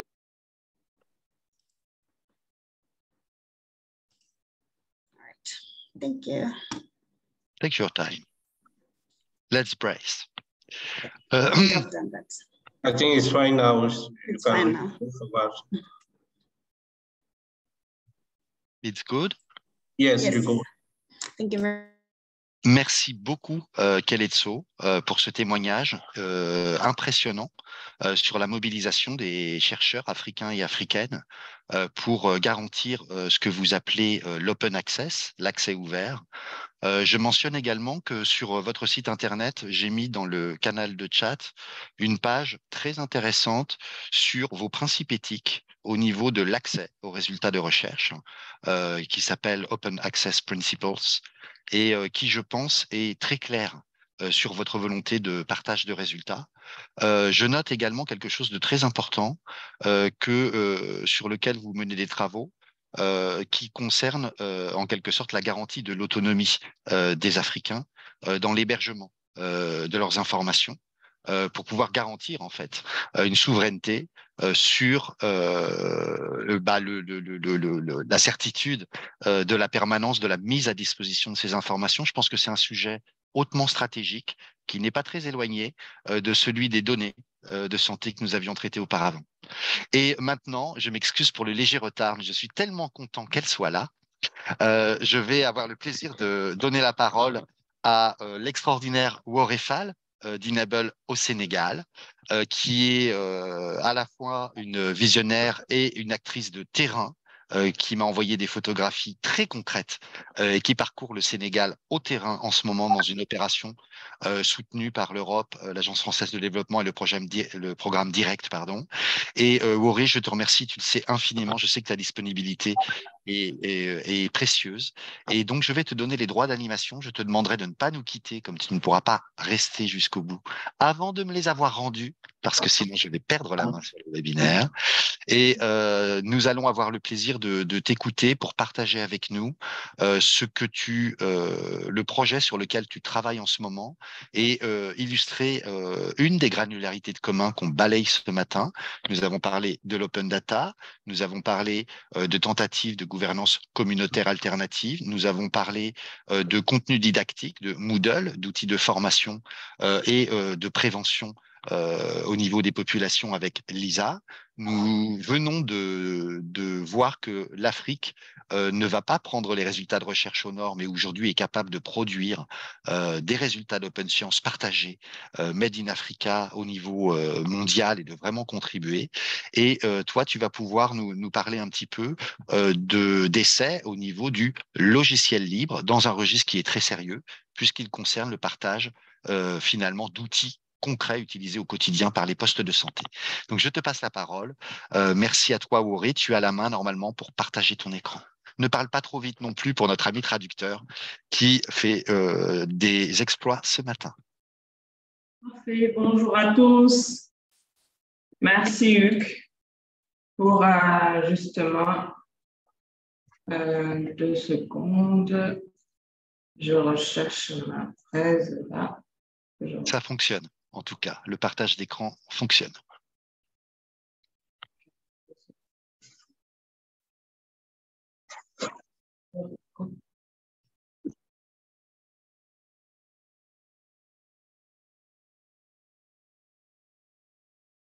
Excuse-moi, je cherche la présentation.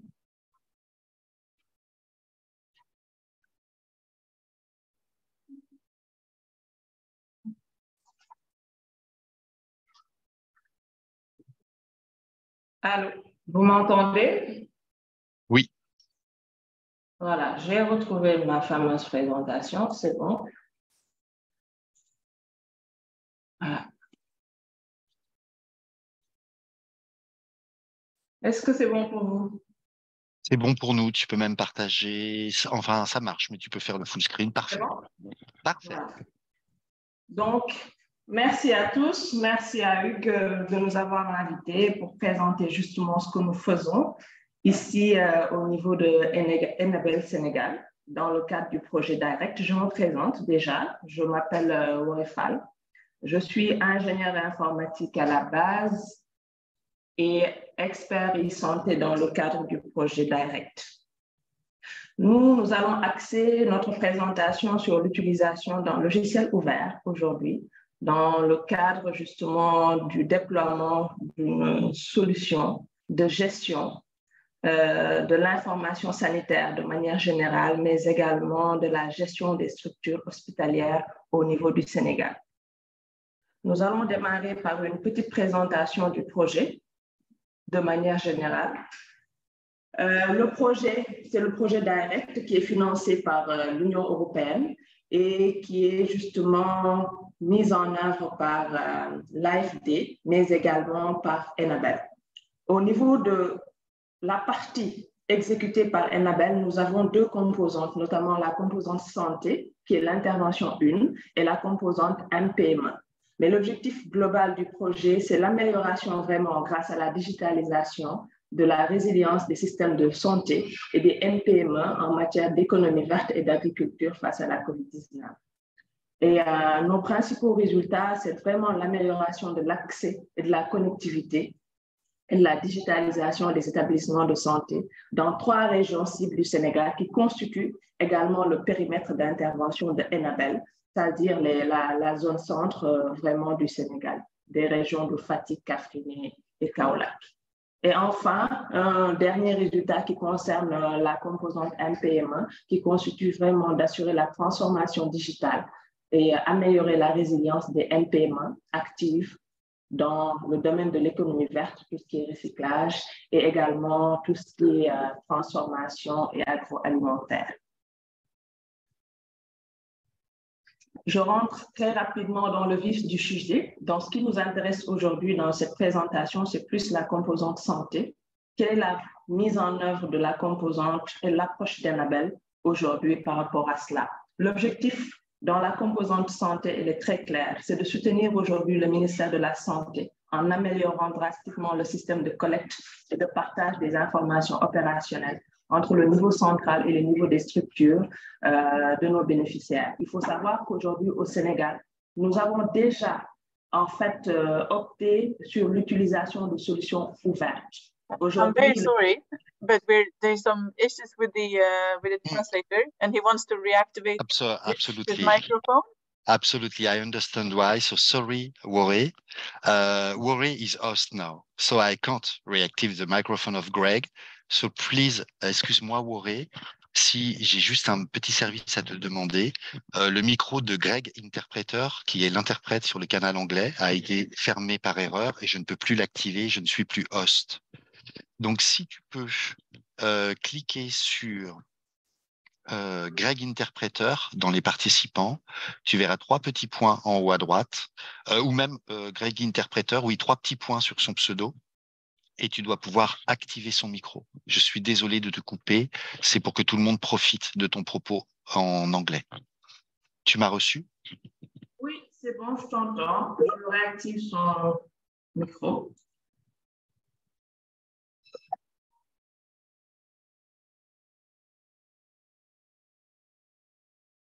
C'est bon, je pense. Ça marche. Merci beaucoup. Excusez-nous. Donc, Pardon Grégoire, merci Mauré. C'est toi qui host et maintenant tu peux reprendre. Pardon pour l'interruption.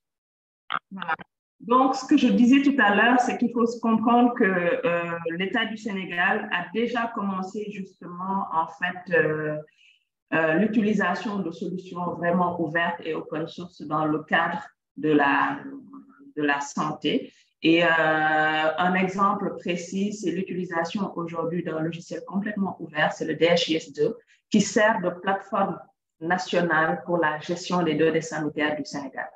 Donc, l'idée pour nous euh, dans ce projet, c'était justement de travailler au niveau opérationnel avec les différentes structures de santé et de leur permettre d'avoir un système d'information opérationnel capables de produire des données de qualité qui vont aller justement alimenter ce DHS2 au niveau euh, de la tutelle du ministère de la Santé.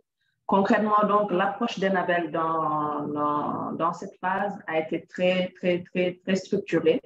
Il s'agissait tout d'abord de travailler sur les infrastructures réseau. Vous allez vous rendre compte que dans nos structures de santé, malheureusement, euh, l'état des infrastructures réseau sont carrément obsolètes.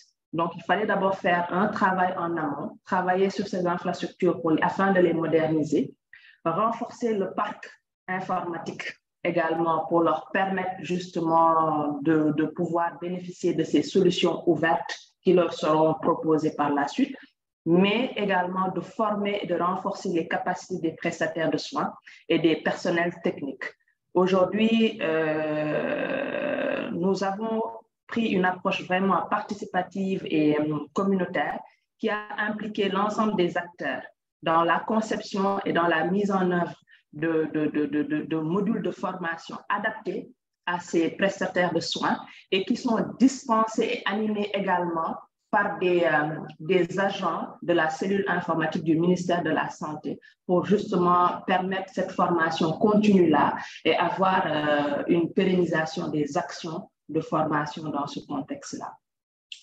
Et également, Enabel à intégrer, bien évidemment, les principes pour le développement numérique qui, sont promus par l'OMS dans toutes ses actions autant que possible. Et donc, les technologies ouvertes sont privilégiées pour assurer, bien entendu, la pérennisation des actions dans nos pays émergents, mais toujours en collaboration avec les autorités sanitaires.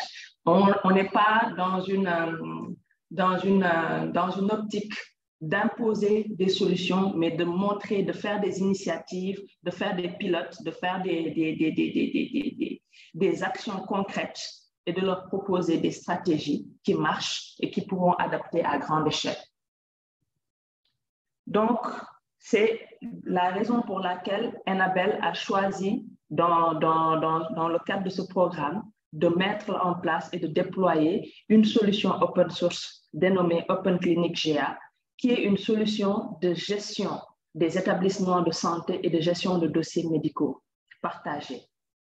Vous avez déjà là une petite, euh, une petite image qui montre la page d'accueil, de comment ça, ça, ça, ça se montre. Et en termes de fonctionnalité, aujourd'hui, vous avez au niveau basique, c'est-à-dire aujourd'hui, la solution que vous allez télécharger dans SourceForge, puisque c'est une solution open source, la solution gratuite vous donne déjà les modules de base qui sont disponibles pour gérer un établissement de santé de manière convenable. Donc, on a la gestion des dossiers médicaux qui est disponible, la gestion de la pharmacie, la gestion des laboratoires, la gestion administrative et financière et la production de rapports statistiques. Il faut comprendre qu'on le met en place dans des structures de santé où parfois il n'y a même pas de solution de gestion de tickets ou de gestion de la facturation. Donc, dès lors qu'on introduit ces modules-là, dès lors qu'on introduit des modules de gestion de stock dans, dans, dans ces établissements de, de santé, on améliore drastiquement la qualité de travail de ces prestataires, mais également la qualité de la prise en charge des, des, des patients qui viennent justement dans ces structures de santé.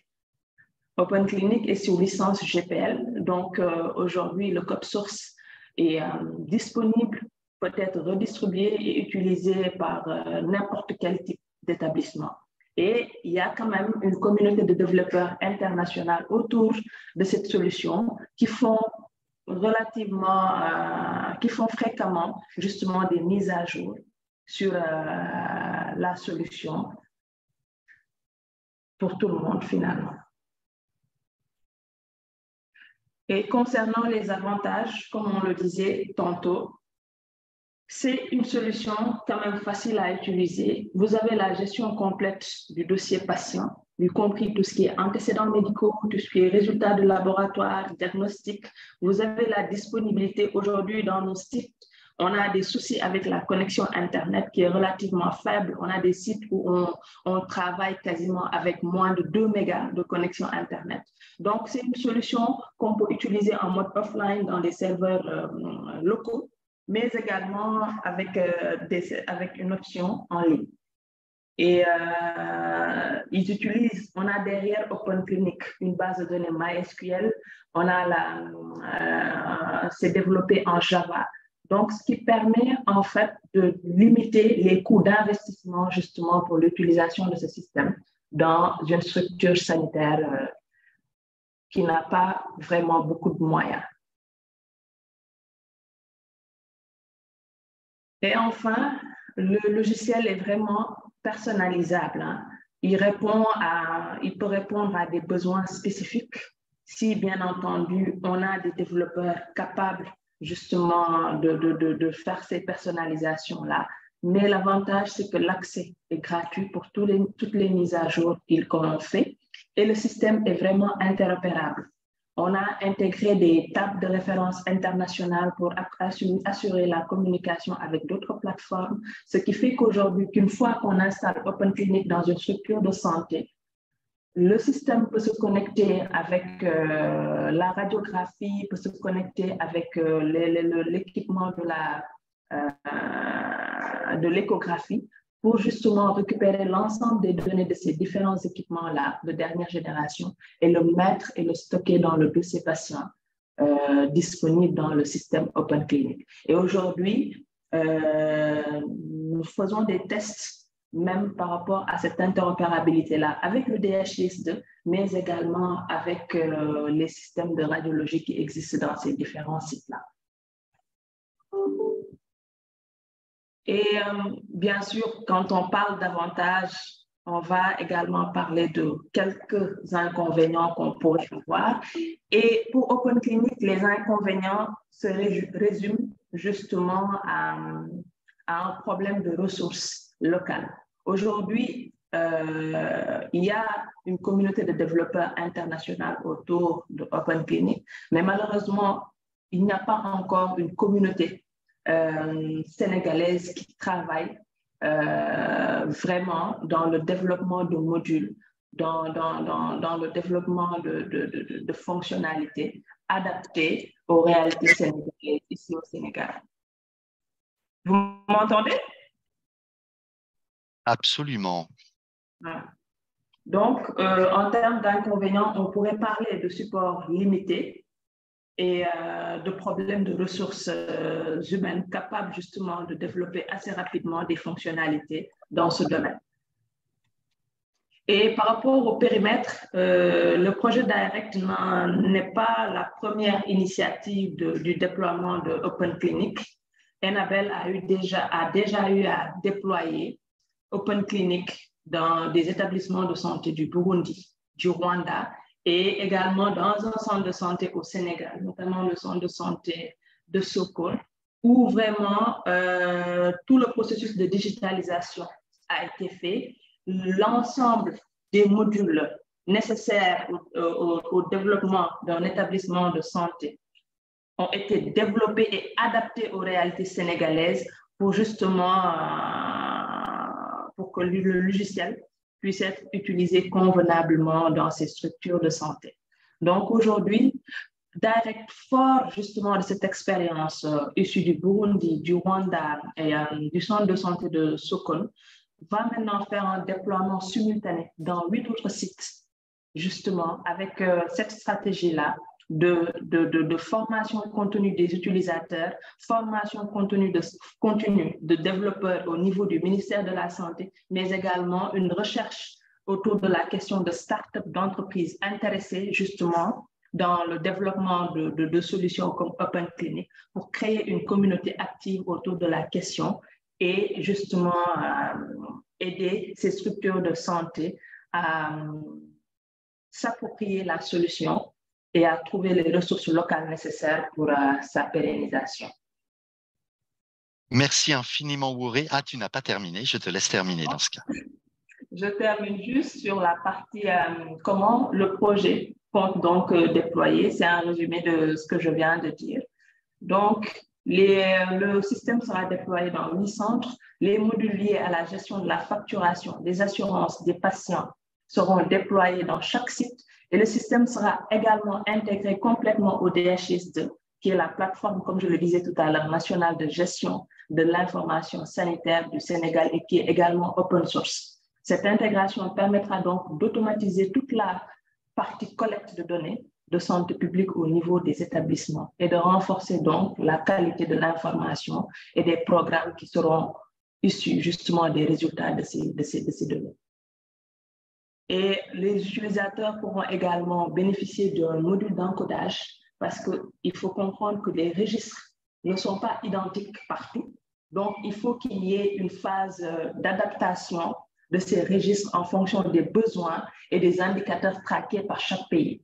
Et donc, nous allons donner à ces utilisateurs l'option d'avoir ce module pour créer leur propre registre et les adapter en fonction des besoins euh, définie par, euh, par le ministère de la Santé du Sénégal. Et comme je le disais, des sessions de formation théorique, pratique et continue seront dispensées pour une meilleure adoption de Open Clinic et une utilisation plus efficace du système. Et nous allons favoriser enfin la collaboration entre les professionnels de la santé et les développeurs locaux pour améliorer ces fonctionnalités-là et la pertinence de la solution pour les structures de santé qui, qui sont appuyées par le projet. Et enfin, on partage avec vous quelques références sur YouTube que vous trouverez sur euh, la digitalisation du centre de santé de Stockholm avec Open Clinic, qui est au Sénégal et fait par Enabel Sénégal. Et justement, le processus de connectivité et de digitalisation du système sanitaire que fait le projet Direct dans la zone centre. Je vous remercie tous et merci pour l'attention. Merci beaucoup, Auré, euh, pour cet exposé extrêmement intéressant. Je veux bien que tu me redonnes les droits d'animateur, si tu veux bien. Euh, et euh, bon, là, je pense que je n'ai pas le temps trop de faire de commentaires parce que le temps passe très vite et c'est passionnant. Et du coup, je préviens à l'avance que le webinaire finira sans doute avec 10 minutes de retard. Euh, parce que euh, c'est extrêmement important et intéressant, euh, tous ces témoignages, et donc bah, il faut qu'on puisse en profiter. Est-ce que Auré, tu peux me redonner les droits d'animateur, s'il te plaît? Merci. et donc là, en résumé, hein, très rapidement, on voit qu'on n'est pas du tout sur de la théorie, mais on est vraiment euh, sur euh, des projets extrêmement concrets qui à la fois euh, permettent de relier par le haut et cette mécanique d'interopérabilité des outils compatibles avec des référentiels de données et ce qu'on appelle dans le langage du numérique des API, des systèmes qui font qu'on peut communiquer pour échanger des choses avec des systèmes de santé nationaux ou internationaux. Mais d'un autre côté, des défis qui rejoignent un peu ceux qui ont été soulevés notamment par Yann Bergamaski et qui portent sur la question de communauté locale, euh, non seulement d'utilisateurs, mais aussi euh, de gens qui vont développer, euh, un petit peu comme le disait Lisa, le sur-mesure qui utilise les possibilités de ces gabarits pour aboutir à des résultats. Et maintenant, je suis, ne nous quittez surtout pas, parce qu'on va aller dans quelque chose que j'appelle quelque part un des angles morts des grands acteurs euh, très souvent qui outillent par le numérique et un peu avec les communs euh, leur dynamique. Et une communauté, ça n'est pas un secret, qui est euh, une communauté très proche des organisateurs de ce webinaire, le collectif Maker Nord-Sud, qui finalement a été mise en lumière de manière extrêmement forte par une crise qui a été mentionnée par plusieurs acteurs ici autour de la table, la crise du coronavirus. Et je veux parler des personnes qui rendent tangibles des biens communs numériques particuliers, qui consistent en fait dans l'incarnation des résultats de recherche ou des réponses à des besoins de population au travers le partage d'autres choses que du data. C'est des objets. et donc, on a l'immense plaisir de recevoir Thomas, Thomas Mboa, euh, du Cameroun. Et euh, sans euh, plus attendre, je vais vous permettre d'enchaîner. Donc, je vais te donner les droits d'animation pour que tu puisses partager ta présentation. Tu me les redonneras ou tu les donneras directement à Doji euh, qui euh, assurera un petit peu un regard transversal sur ces questions. Et donc, Thomas, je te nomme animateur et te souhaite la bienvenue pour nous parler euh, de choses qui paraissaient de la science-fiction il y a cinq ans, mais qui ont été incarnées très fortement depuis 2020. je veux parler de, des objets libres. À toi. Merci beaucoup, Hugo. Je vais présenter mon écran. Est-ce que vous pouvez voir mon écran? Absolument. Okay. Okay. So my my uh, my slide are in English, but I will uh, present in French. So for people who are English speaker, you can uh, really read what I'm saying. It's true that we have a very great uh, uh, translator, and uh, but you can also read what I'm saying. So, um, uh, je suis Thomas Bois, je suis euh, le fondateur euh, du Bois Lab et euh, je suis également chercheur en intelligence artificielle, particulièrement au Centre d'expertise internationale de Montréal en intelligence artificielle. Mais aujourd'hui, je ne vais pas parler d'intelligence artificielle, je vais beaucoup plus parler du mouvement Maker dans lequel je suis entré autour des années 2013 à travers euh, le projet Sciences ouvertes en Haïti et en Afrique francophone. Donc, euh, je vais commencer par euh, présenter un peu l'idéologie derrière le Maker ou bien la philosophie qui nous anime. C'est la philosophie de l'open science et en particulier l'openness. l'openness que nous considérons avec ces trois dimensions. Euh, une première dimension sur l'ouverture aux données, aux publications, une euh, deuxième dimension liée au euh, milieu alternatif du savoir, dans des milieux autres que l'université, et une troisième dimension liée à, la, à d'autres savoirs, l'ouverture à d'autres savoirs, les savoirs endogènes, les savoirs locaux, épistémologie, appelez-les comme vous les voulez. Mais dans le cas de cette présentation, je vais beaucoup plus m'intéresser à la deuxième dimension euh, de l'openness, qui est des milieux alternatifs, qui a trait aux milieux alternatifs de production de savoir, à savoir notamment les makerspaces. Euh, l'idée ici est de produire euh, des technologies ouvertes dans des endroits communément appelés Fab Lab ou Makerspace pour créer euh, une forme d'économie euh, circulaire, euh, de réduire un peu les procédures d'accès aux, équipements et de permettre la, la capacitation des acteurs locaux et notamment africains. Au niveau de mon travail, de ce que je fais tous les jours, j'applique ces principes-là dans plusieurs domaines, mais dans le cadre de cette conférence, on va beaucoup plus euh, euh, parler de ces applications dans le milieu de la santé. C'est pourquoi vous voyez euh, biomanufacturing, c'est-à-dire la production des bioréactifs, des équipements de biologie et autres. L'idée ici est de, faciliter l'innovation et puis mieux encore de booster l'innovation endogène, c'est-à-dire une innovation qui viendrait de nous, euh, Africains, qui viendraient à partir de nous, qui viendraient répondre aux problèmes euh, que, auxquels nous, faisons face. Et les approches open source, au-delà de faciliter l'innovation, euh, facilitent également la collaboration euh, entre les différents partenaires, facilitent la prise en compte du contexte local. Et dans le domaine de la santé, c'est très important parce qu'à la fin, ça favorise cet accès universel, la participation des différents acteurs et la production euh, collaborative. Alors, au-delà de l'idéologie ou du principe, allons dans un cas un peu plus euh, concret, le, cas du, du que j'ai fondé en 2017, où nous sommes vraiment ancrés dans la quatrième révolution euh, industrielle avec deux pans particuliers. Un pan sur les biotechnologies et un autre pan sur euh, la fabrication euh, euh, locale, la fabrication locale basée du numérique, donc tout ce qui est robotique, Internet des objets, algorithmes prédictifs et autres.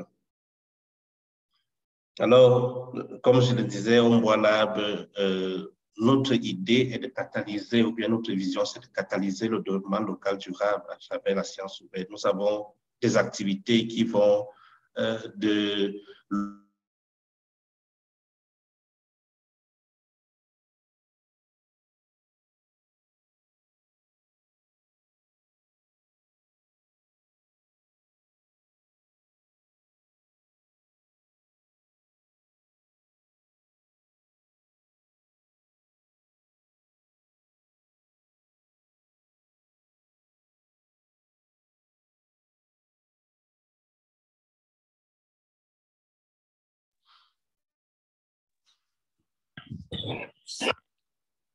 De G, je crois que nous n'entendons plus Thomas.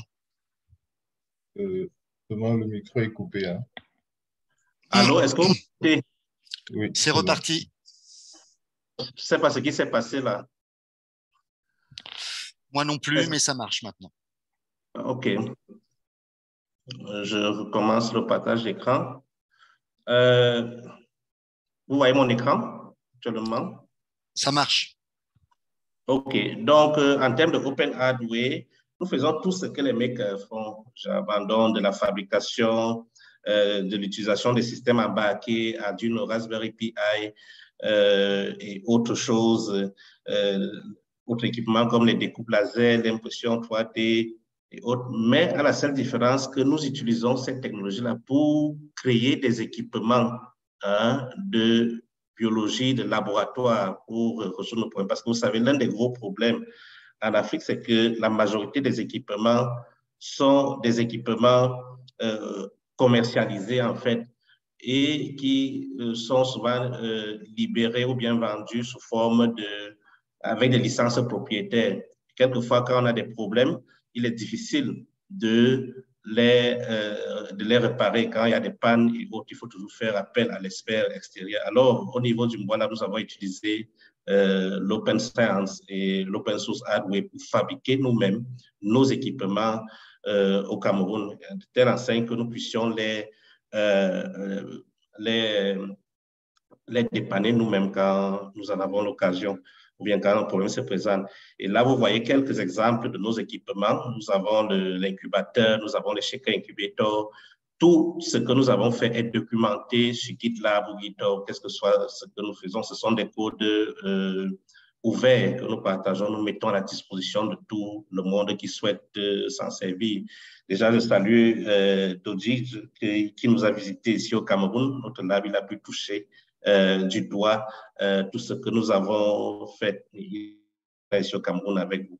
Vous avez quelques autres exemples de, euh, d'équipements que nous fabriquons. Il faut dire que sur le plan de la biotechnologie, nous faisons vraiment, nous sommes ancrés dans la biologie moléculaire avec des techniques très poussées telles que le, CRISPR-12. beaucoup dans le monde sont au niveau du CRISPR 9 ou 9 mais nous, sommes au niveau du CRISPR 12 et nous faisons cette. Euh, euh, nous, adoptons ces protocoles-là, nous, nous pratiquons ces appareils localement fabriqués que vous voyez euh, à l'écran.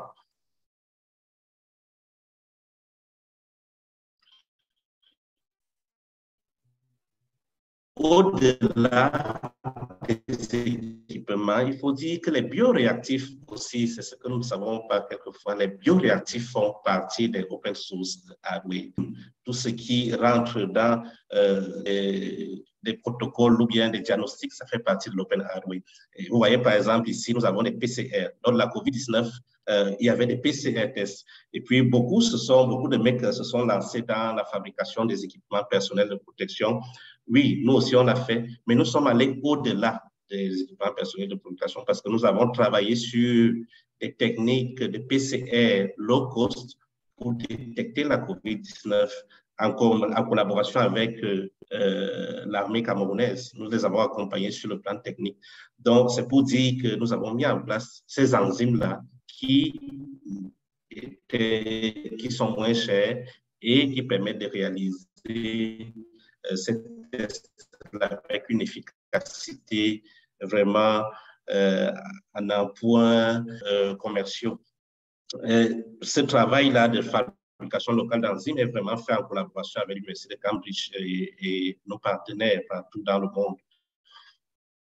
Voici quelques-uns des produits que nous avons pu, euh, que nous fabriquons, que nous commercialisons également sur le plan local et dans la sous-région Afrique. Mais un, aspect très important, je vais chuter par là, qu'il faut mentionner, c'est la science ou bien l'open science, il faut l'ouvrir. Ça veut dire que notre objectif aussi est de, de, de, de, créer, bien de mettre sur pied une masse critique d'Africains capables d'utiliser l'open science pour développer des, des, solutions propres à nos problèmes d'abord. Donc, c'est pourquoi la formation est un aspect très, très important voilà. Et vous voyez, nous faisons régulièrement, nous adoptons même des protocoles avec ce que nous trouvons localement et nous accompagnons les universités locales. Nous avons un très bon plateau technique, une très bonne connaissance technique euh, la biologie moléculaire, ce qui fait qu'actuellement, nous avons euh, des MOU, bien des conventions avec des universités euh, d'État et des universités privées du Cameroun pour accompagner, la, formation dans le domaine spécifique de la biotechnologie. je ne travaille pas seul, c'est toute une équipe. Et nous sommes soutenus par euh, des partenaires. J'ai mentionné juste quelques-uns euh, les plus importants là. Donc, cher ami, me voici arrivé à la fin de ma, euh, ma présentation. Et ça fait plaisir que je répondrai aux questions plus tard. Hugues, je te fais, je te refais post, c'est ça? Je veux bien. merci infiniment, Thomas. je pense que ton intervention. Oui, tu m'entends? Allô? Oui, je t'entends. Donc, tu peux euh, me confier les droits ou les confier directement à Doji si tu le souhaites.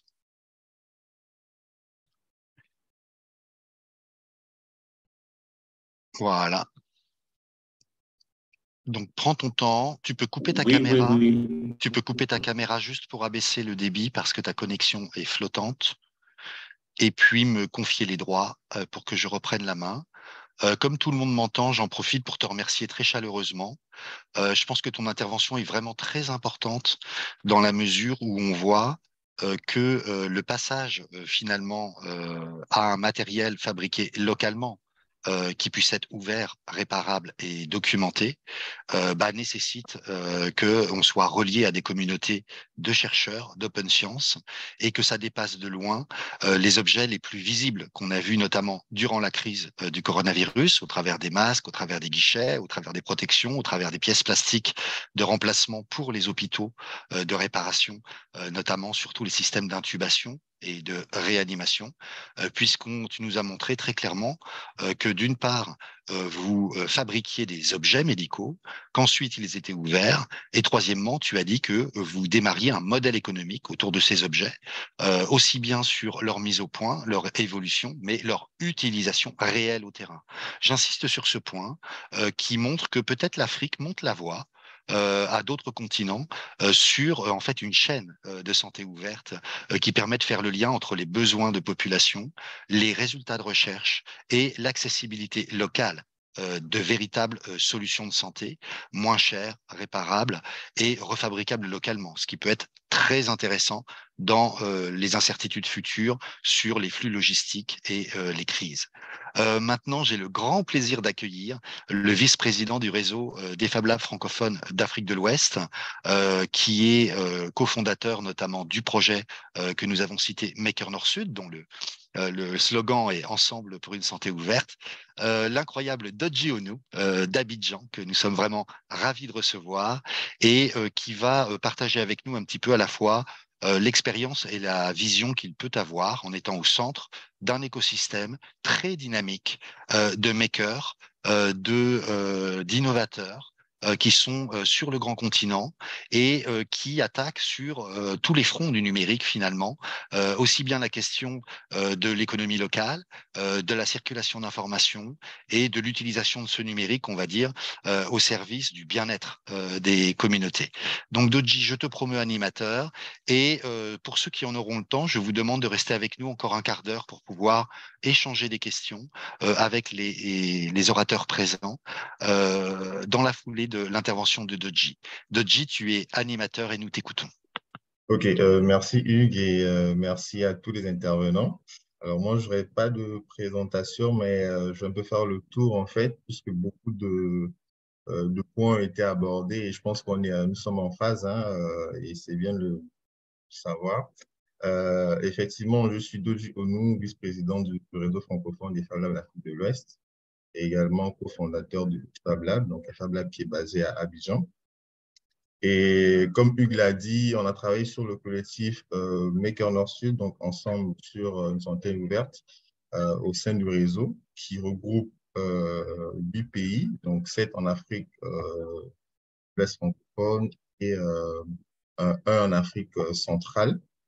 Ok, donc l'objectif justement de ce projet euh, lors du début de la pandémie, c'était dans capacité euh, nos collègues euh, pour qu'ils soient en mesure, en capacité en termes d'équipement, pour qu'ils soient en mesure d'aller plus loin, c'est-à-dire ils avaient déjà démarré chacun de leur côté la production à travers des plans disponibles en ligne, la production de gel, de masse, un peu comme on a vu partout. C'est de dire, OK, on peut aller plus loin au-delà de la pandémie de Covid, des incapacités en termes d'équipement qui soit en mesure de long l'année et même de former euh, euh, d'autres personnes à l'utilisation de ces outils-là euh, pour qu'ils puissent les appliquer dans la production locale en fait des, des et en, écoutant tous les intervenants, moi, j'allais juste appuyer sur trois éléments, donc qui seraient la disponibilité, l'accessibilité et l'exploitation. Alors, donc ici, la disponibilité, on l'a dit, donc on parle de disponibilité des données, de la documentation, du matériel, etc.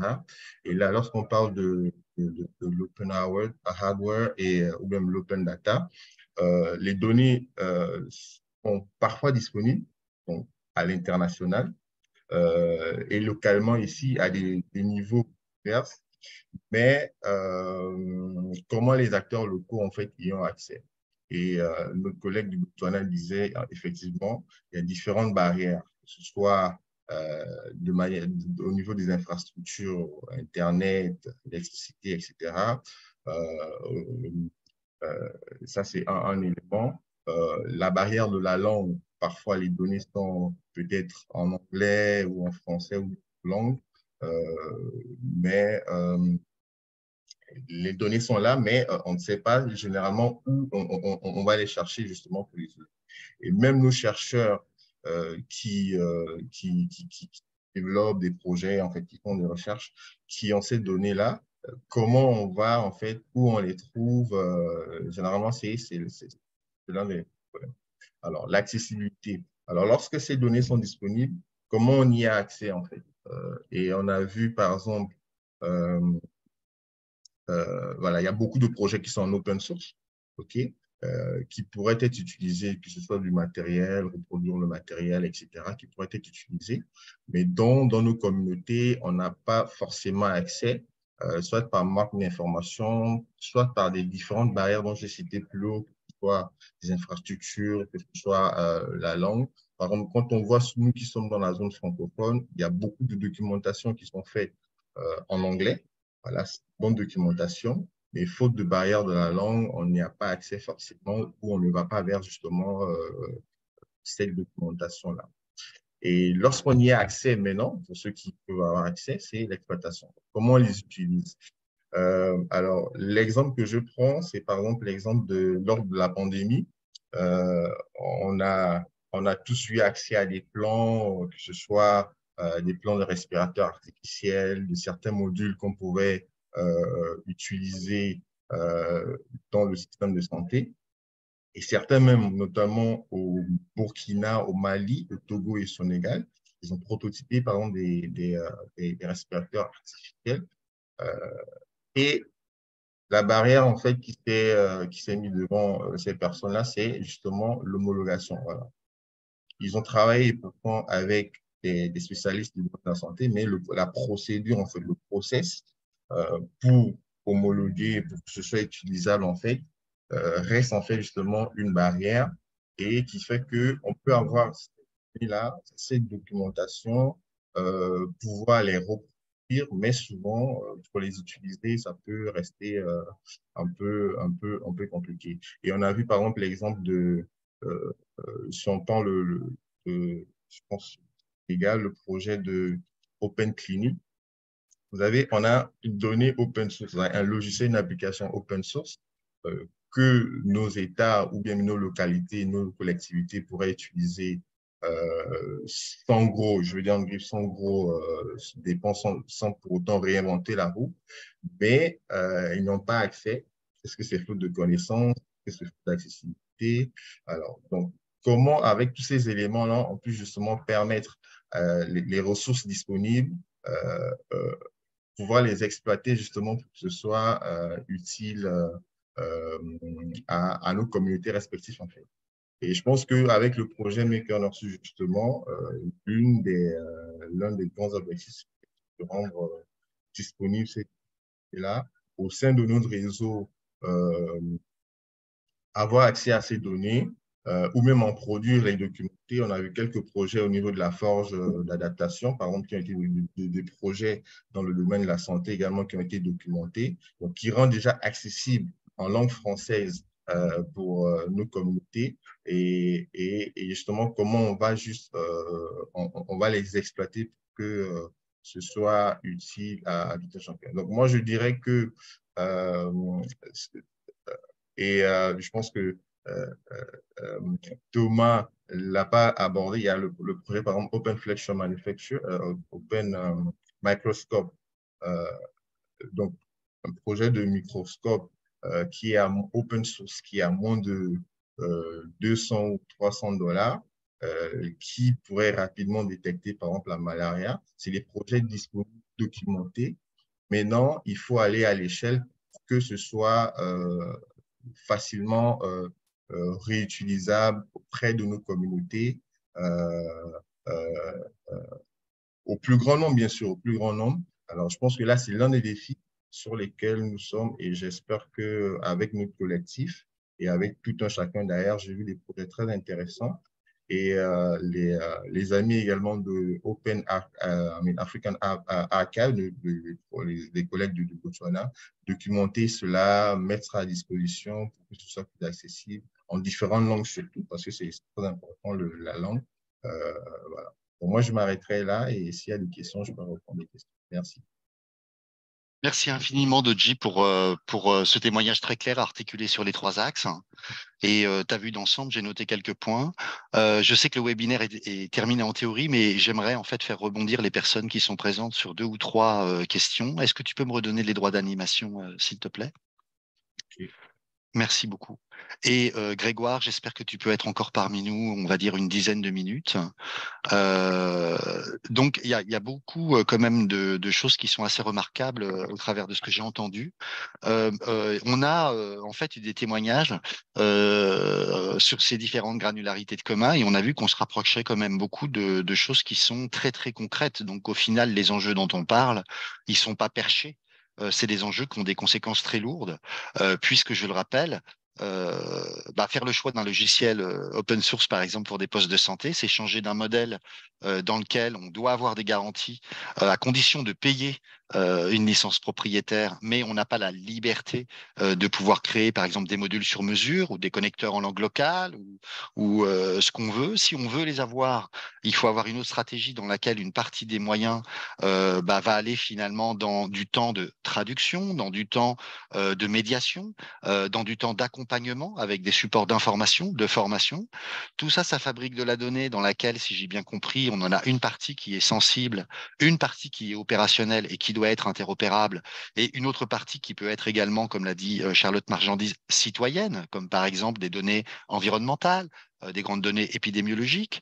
Et on a vu avec Thomas euh, qu'il y a ce que je considère comme un angle mort, qui est aujourd'hui la possibilité de permettre partout, finalement, d'avoir une forme d'autonomie euh, dans euh, la réparation et la fabrication d'objets euh, qui vont être peut-être plus frugaux, qui vont être peut-être moins gourmands écologiquement. Et du coup, ça me pose une question un peu dure. C'est-à-dire qu'aujourd'hui, Doji a mentionné, par exemple, et moi j'ai constaté cette question dans plusieurs projets d'intérêt général outillés par des acteurs du matériel libre, par exemple, la question du fait que les institutions se saisissent pas forcément euh, n'ont pas la connaissance de ces solutions open source, du fait que euh, le passage à l'échelle, euh, on l'a vu, on l'a constaté au travers de différents intervenants, par exemple le travail de Lisa montre des échelles qui sont très conséquentes dans l'utilisation d'un numérique qui permet même offline euh, d'avoir des effets euh, importants sur la santé, euh, mais on voit que suivant les granularités de commun, on a comme si on avait des niveaux de maturité différents sur le passage à l'échelle et sur la nature des acteurs. Donc, c'est une question que je pose un petit peu, c'est-à-dire que je vais citer deux chiffres et puis lancer peut-être un, débat très court ou appeler les personnes qui auront des questions à, à certains intervenants à lever la main dans la foulée.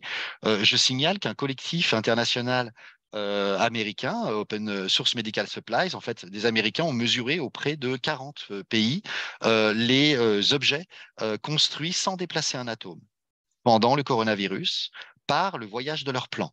D'accord? Des masques aux respirateurs en passant par les bases de données d'objets imprimables en 3D, par exemple, pour réparer du matériel médical, comme l'a fait l'assistance publique des hôpitaux de Paris.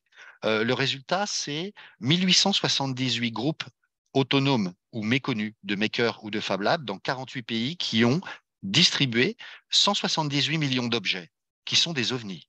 D'accord? Euh, euh, ce sont euh, des choses qui sont mesurées et objectivées, qui ont surgi dans le paysage, un paysage que vous pratiquez. quelque part, les makers africains, les lieux comme, comme Thomas du Lab. Donc, tu as dit, euh, Dodgy, que vous aviez besoin d'accessibilité à l'information et aux données pour pouvoir transformer, euh, y compris au terrain, euh, les informations en objets, en comportement, en médiation, en usage réel dans les, dans les lieux de soins. Donc, la question que j'aimerais bien poser dans la salle rapidement, c'est, on a vu euh, défiler des granularités de commun, mais en réalité, ce qui me semble, c'est que c'est plutôt dans le système qui permet de les faire communiquer, euh, qu'il y a une clé qui permet de euh, créer des économies autour, avoir des vrais usages dans les institutions.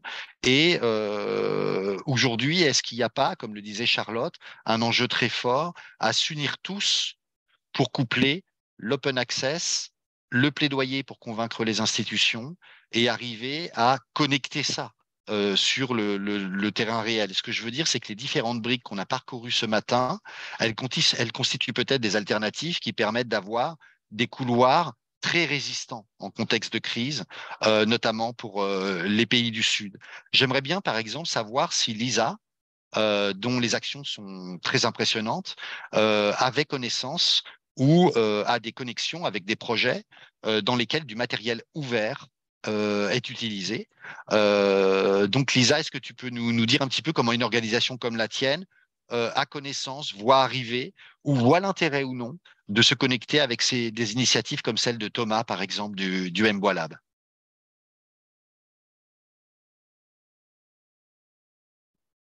Uh, yes, thank you. Um, yeah, I think we're always uh, definitely interested in connecting with uh, partners on the ground. That's how we um, how we manage our work and we have no interest in working from our own bubble only from our own perspective. We think it's extremely important to to have it uh, as much as we can partner led uh, and from there from the ground uh, definitely. And uh, our ideal project is when it comes uh, as, as a request um, from the ground and that it's a real need for it and we can see um, we can join up resources and, and uh, interests and and work together from uh, from that angle. Um, so definitely.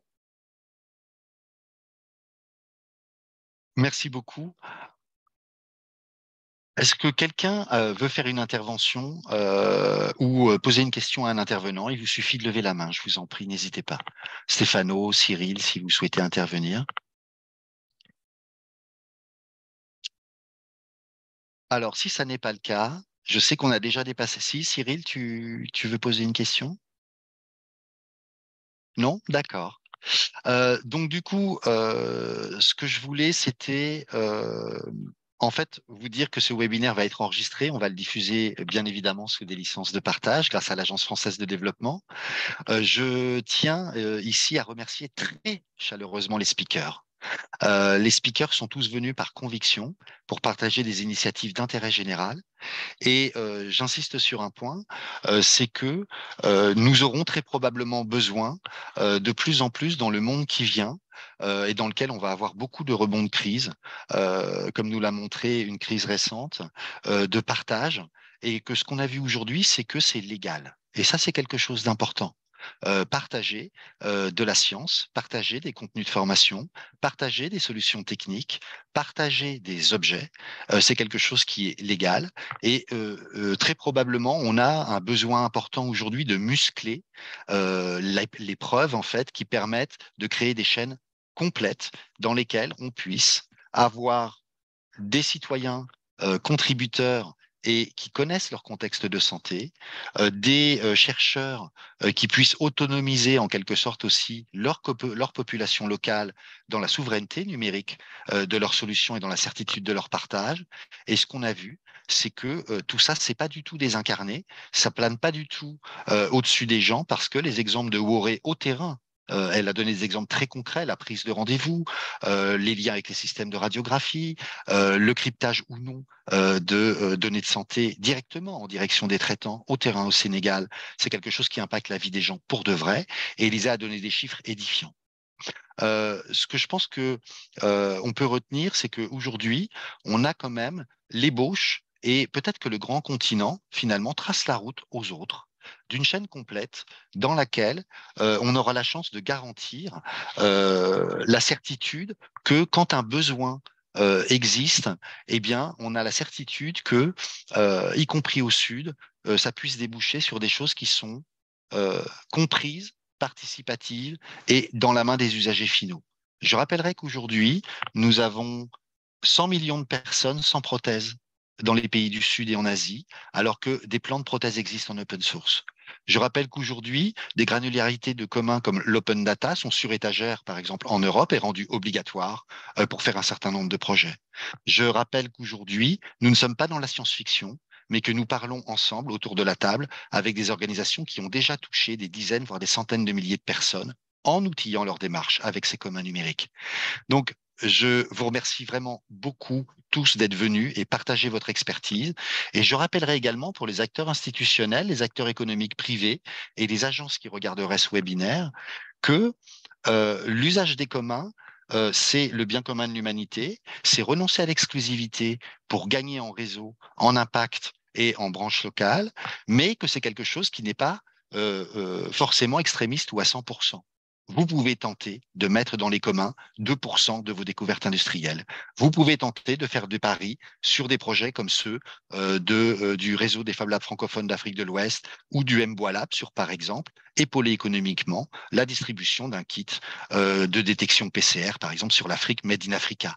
Vous pouvez, en tant qu'agence, coupler vos bibliothèques de formation et d'information des habitants avec des dynamiques qui sont faites avec les Moodle, par exemple, de l'ISA ça signifie que le potentiel à transformer au travers de ces communs est différent, mais par contre, euh, qu'il offre des possibles sur lesquels très probablement le grand continent africain euh, est aujourd'hui peut-être euh, l'exemple que les autres suivront demain. Donc je vous remercie vraiment infiniment pour ce webinaire. Je remercie aussi beaucoup Grégoire, le traducteur, et je fais un clin d'œil à Yann Krouwer, qui a réalisé un spectre de veille complet sur les communs en Afrique francophone pour l'Agence française de, développement, euh, de m'avoir aidé à préparer ce webinaire, euh, dont j'espère qu'il vous a intéressé. Si vous voulez trouver des informations, nous euh, publierons un compte-rendu avec l'archive vidéo et vous pouvez chercher le tag Open Health comme santé ouverte sur les réseaux sociaux, sur lequel régulièrement des personnes partagent à la fois des réalisations, des appels à projets et des propositions de projets. Donc je suis vraiment ravi, je remercie tous les protagonistes. Je vous souhaite une excellente journée et euh, faisons ensemble du partage et de la santé ouverte parce que euh, je pense que le monde de demain en aura vraiment besoin. Excellente journée à tous et toutes.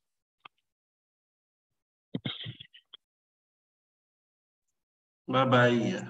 Merci, au revoir. Thank you very much.